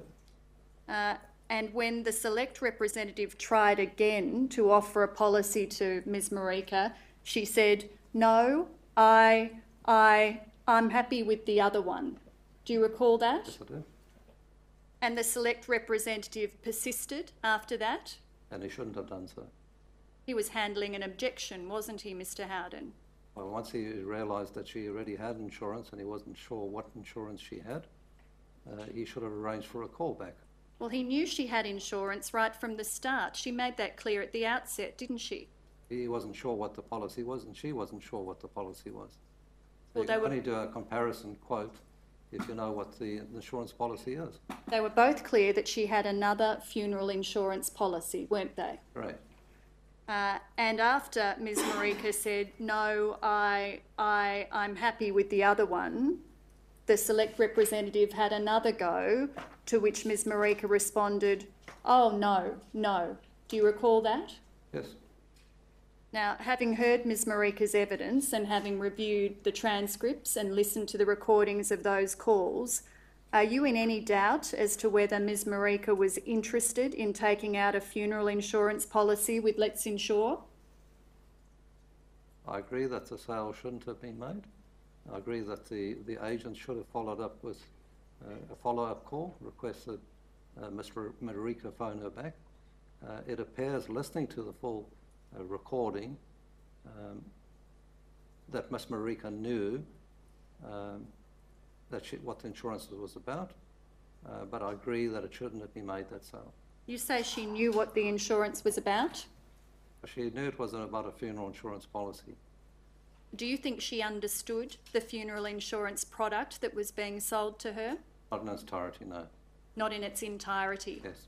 What do you mean by that, Mr. Howden? He probably didn't explain, uh, understand all the, the features like accidental serious injury, accidental death. Uh, she knew that about funeral insurance. She'd agreed initially to do a call about funeral insurance. Uh, she didn't know all the inner workings of the product. You've come back to her agreeing initially to receive a phone call about funeral insurance. I thought you accepted that the evidence uh, established that she didn't want to receive a follow-up call from funeral. Once I heard the discussion with her yesterday, I came very firmly to that conclusion. And it would have been very clear to the other person on that call, wouldn't it? And I agree, uh, Ms. Law, he, he should have ended that call.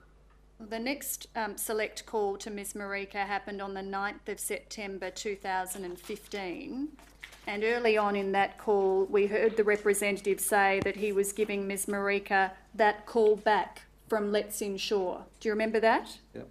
Now, that made it sound as though Ms Marika had requested a call back from Let's Insure, didn't it? Yes, it was uh, wrong the way he, he, he- he positioned that. I'm sorry? It was wrong the way he said it's a callback.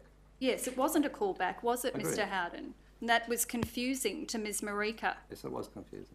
Um, the representative then said to her, Oh, you've done the survey online about the Let's Insure funeral cover, and I'm just here to give you your free quote, okay? You recall that? Yes, I do. No online survey had been done by Ms Marika, had it, Mr Howden? Uh, the agent got confused with the, uh, the lead provider says, I'm doing a survey, and the agent got confused and referred to an online survey when he should have referred to a voice lead.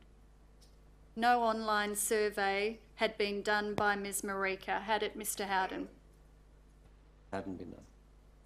And during that call, uh, which you accept Ms Marika didn't want to receive, um, Ms Marika agreed to acquire funeral insurance cover for herself, her children, and her five grandchildren. Correct. And Select set up two policies for Ms Marika because at that time you capped the maximum number of people on one policy as five people, didn't you? Correct.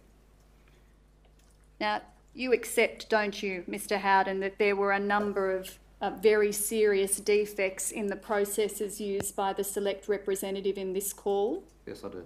Um, you accept that the select representative told Ms Marika that it was common for people to have two funeral insurance policies?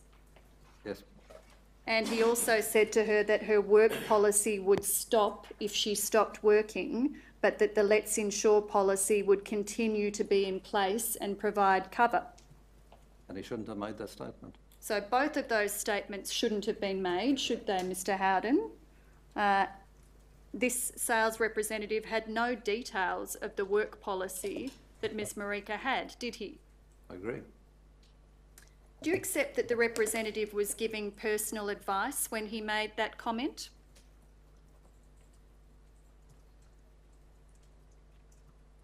He- shouldn't have made that comment. yes. Well, he was giving personal advice, wasn't he, Mr Howden? Yes, he was giving personal advice. And you're aware of the um, statutory restrictions on the offer of personal financial advice under the Corporations Act? Yes, I am. And in your training material, you warn staff against providing personal advice? Correct. But that was precisely what this representative did? The whole call was uh, terrible. I accept that. It failed. I can't defend that call. He wasn't authorised or licensed to provide personal advice, Correct. was he? Um, and he didn't provide any disclosure statement or document? No. Uh, and he therefore contravened section 952 capital C of the Corporations Act. But If you, if you say he has, he, he probably has contravened that. Are you aware that that's an offence provision, that it is a- an offence to provide personal advice other than in the circumstances prescribed Yes, by I'm the aware Act? it's, it's an offence to provide personal advice. yeah. Now, Ms Marika was never asked for her consent to receive a product disclosure statement orally, was she? No, she wasn't. That was another statutory breach. Um, yes, And we heard that the representative said to Ms Marika, perfect, well what I'll do for you Kathy, so we can get you all covered, I just need to play you a recording. It's only 60 seconds long, so you make sure you listen to this. You'll come straight back to me and we'll get you and all the kids sorted, okay? And Ms Marika responded, okay. And the agent said, no worries. And following that, the PDS recording was played. Is that right? yes, that's right. Uh, so that was the conduct uh, that breached section 992 capital A 3E of the Corporations Act. I agree with you. The, the call uh, was a failed call. And do you agree that there was a breach of the provision requiring the obtaining of consent to receive the PDS in the call? Again, without looking at the, the full script and uh, as we referred to earlier, and I'm not su- sure if it was an assumed um, request applying the PDS. Um, Well, she wasn't asked for her consent to receive the wasn't asked product for her consent. disclosure statement in that way, was she? And therefore there was a breach of that provision. um, I'm not qualified to comment on that. All right. You accept that there were multiple occasions in this call in which Ms Marika appeared confused, Yes, I do. uh, and you say in your statement that on listening to the calls, you formed the view that Ms Marika's language skills and general comprehension were not obviously impaired, such that she was not aware that she was purchasing funeral insurance for herself, her children, and grandchildren. Now, having listened to Ms Marika's evidence, do you maintain that position? Um, at the time we listened to the call, it appeared that she, at various stages, comprehended what was being put to her. And having But heard, when uh, heard it in person from her yesterday, uh, I've no reason to uh, dispute what she's saying. But you say in your statement that your review of the call recording caused you to form the view that while it suggested that she consciously provide, while the call recording suggests Ms Marika consciously provide her bank details for purposes of paying for these policies and agreed to the direct debit arrangement, there were sufficient signals during the call that suggest that she may not have fully understood the product she was purchasing and the consequences of the purchase. So that was your position even prior to Correct. seeing Ms Marika's evidence. And you said in your statement that you considered that those signals should have been obvious to the sales agent on the call. Correct. In all of those circumstances, was it unconscionable to sell the funeral insurance policy to Ms Marika, Mr Howden? Yes, it was. Thank you. And then on the 10th of September, there were two further calls between Ms Marika and Select. Do you recall that? Yes. And in the second call, the representative requested from Ms Marika details of family members and friends for the purposes of trying to make more sales. Correct. And you say in your statement that that was unreasonable. Correct. And you say it was a gross abuse of Select's referral program. Correct. Now, by virtue of your sales training, your KPIs, your incentive schemes, your quality assurance scheme, and your disciplinary framework, I'll put to you directly that you had created a situation in which this type of gross abuse was unsurprising. Yeah, the call, uh, again, going back to the earlier statement I made, unfortunately, um, this agent was driven by an incentive, which happened to be one of those incentives. If you look at previous uh, minutes, uh, uh, compliance minutes, uh, he, he was not flagged as, as an agent with uh, lots of breaches. He did the wrong thing, and, and he accepts that. He, he did the wrong thing. Now, Select, um, you tell us in your statement, became aware of this gross abuse of its referral program on the 1st of June this year. That's correct. And that was the day after Select received a request. Not Select, but uh, Russell Howden. First time I That was the became, first time you became aware of it. personally, yes. Is there a difference there, Mr Howden? Were others already aware of it? No, because the original call, when the letters came through, um, call was listened to and they agreed it wasn't a good call and they agreed to refund the, uh, the premiums. I see. Are you referring to when uh, New South Wales Legal Aid contacted Select about that Correct. call? The call was listened to at that time By the And- Quality Assurance Department, yes. and it was agreed that it was Uh, it didn't meet the company standards and it was a failed call and for that reason uh, they should refund the, the premiums. You were not aware of that at that time? No, I wouldn't. It wasn't a bad enough call to be drawn to your attention? Didn't come to my attention, unfortunately. Should it have come to your attention, Yes, it Mr have. Howden? It should have, Okay.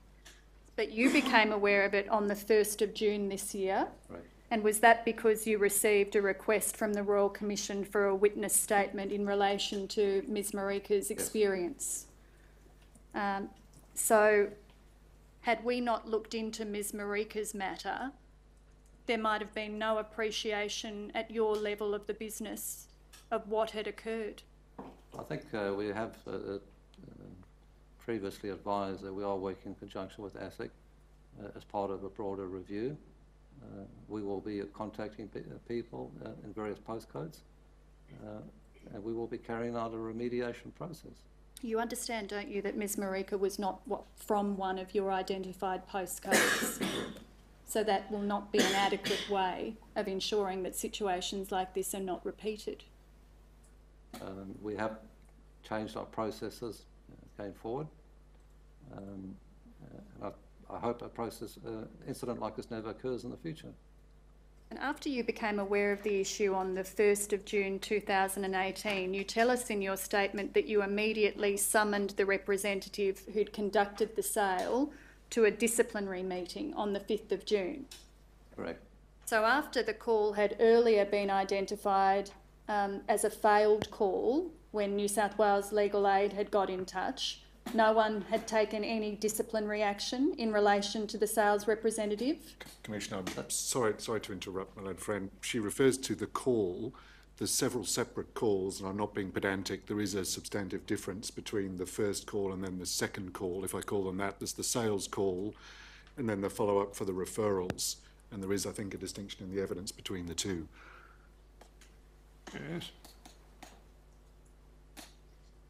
I'm, I'm not sure I'm clear on that. We had understood that the 9th and the 10th of September calls were conducted by the same sales representative. As, as I understand the position, the first call, which is, if I call it this, the call during which the sales was made, that's the one that was picked up when Legal Aid made their complaint. I don't think anybody in Select had listened to the follow-up call where the referrals were at any stage, and then Mr Howden became aware of both calls at the same time. That's, I think that's the position. I see. So, so to make sure I'm clear, the, the call that you say was listened to after the New South Wales Legal Aid correspondence was the sales call, Only the sales call. only the sales call on the 9th of September, and that was determined to be a failed call. Correct. And was any disciplinary action taken against the I sales representative? I would assume that the, the QA would have uh, brought that to the attention of the team leader. Well, have you looked into this, Mr Howden? Do you know whether any action was taken against the sales I can't see any representative? written um, evidence of that, but I would assume that would have happened. that Why, why do you assume that would have happened, Mr Howden? because that was the process. If there was a failed call, uh, the QA would bring it to the attention of the team leader, uh, and the team leader would also listen to that call. Have you seen any documents to suggest that that occurred? No. Uh, but when you became aware of the issue on the 1st of June, you summoned the representative to uh, a meeting, a disciplinary meeting, Correct? uh, and you asked him, you gave him a letter before that meeting in which you asked him uh, to provide, uh, asked him to attend to enable a full and detailed investigation of the matter. Correct. Uh, and you let the representative know in your letter that you, Mr Howden, had sole responsibility for the conduct of the meeting, together with any resulting decision which was to be made after the meeting. Correct? And you held that meeting with the sales representative on the 5th of June this year. Together with the head of uh, human resources. I see, and that was on the 5th of June. Correct? Uh, and then at SAF triple zero five, triple zero one, triple zero three.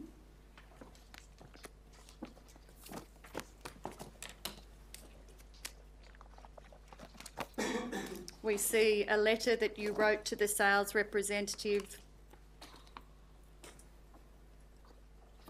on the fifth of June, the same day as the meeting Correct?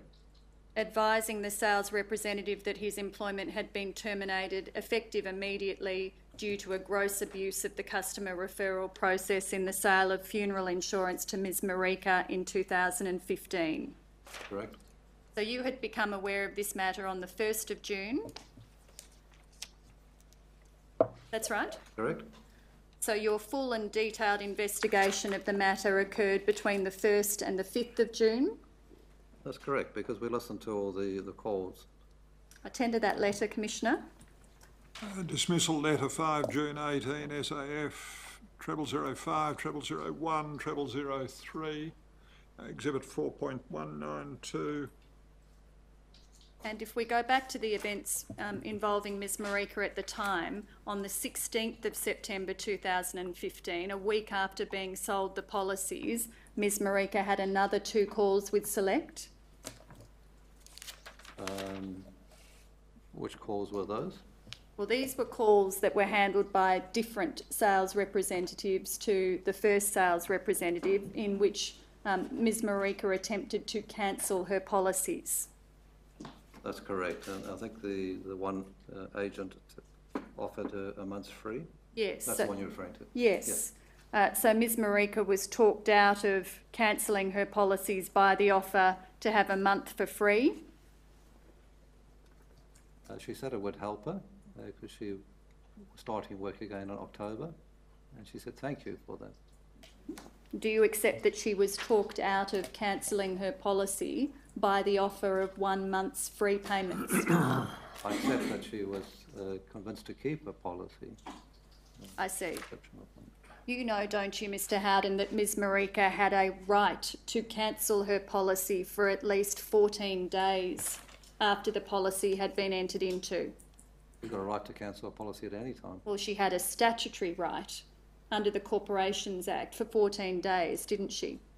Uh, and ours goes right up to 30 days, and, and she has that right, yes. Well, that's right. The statutory entitlement is for 14 days, but under your product disclosure statement that was applicable to her policy, uh, she had 30 days Right. as a cooling off period to cancel the policy, and any premiums paid in that time would be refunded.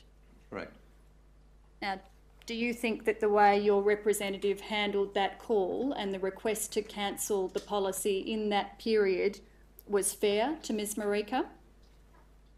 It appears, again, listening to the recording, uh, Ms Marika's appeared to be happy with the offer of one month to keep her policy going.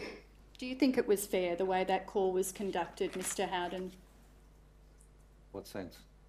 Do you think it was fair the way the call was conducted, fair to Ms Marika in circumstances where she was calling to cancel her policy because she could not afford it? And that was an affordability um, issue she raised, and she said she was starting work the next month. And the agent offered her one month free to get her back on her feet, once she had a job. And she still said at the end of the call, uh, you can always phone me back if your circumstances change. So she So did leave the door open for Miss Marika. Do I take it from that that you think that was a fair way to conduct that call?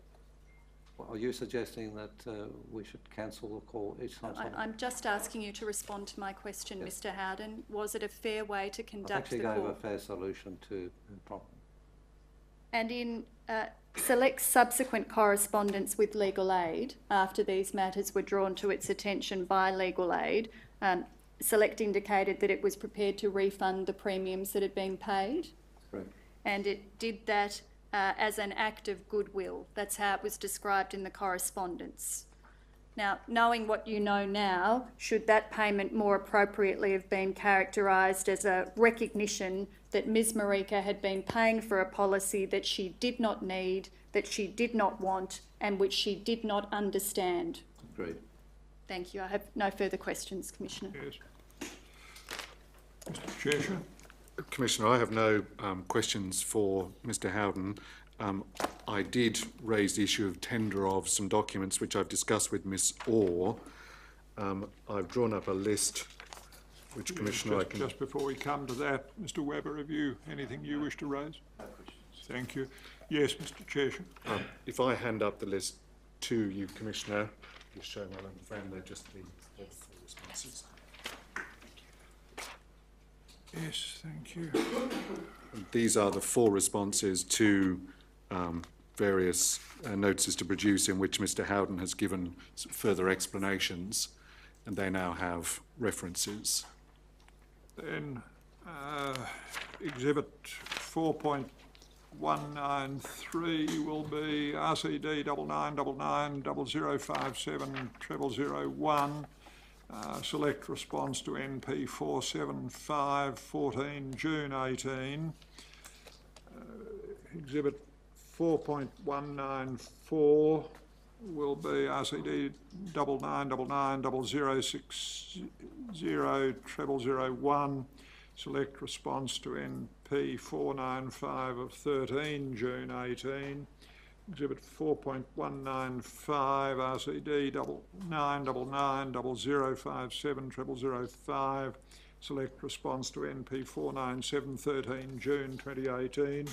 Exhibit four point one nine six uh, SAF treble zero six treble zero one treble zero one. Select response to NP six five four thirteen June eighteen. Thank you, Commissioner. Yes, thank you, Mr Howden. You may step down and you are excused.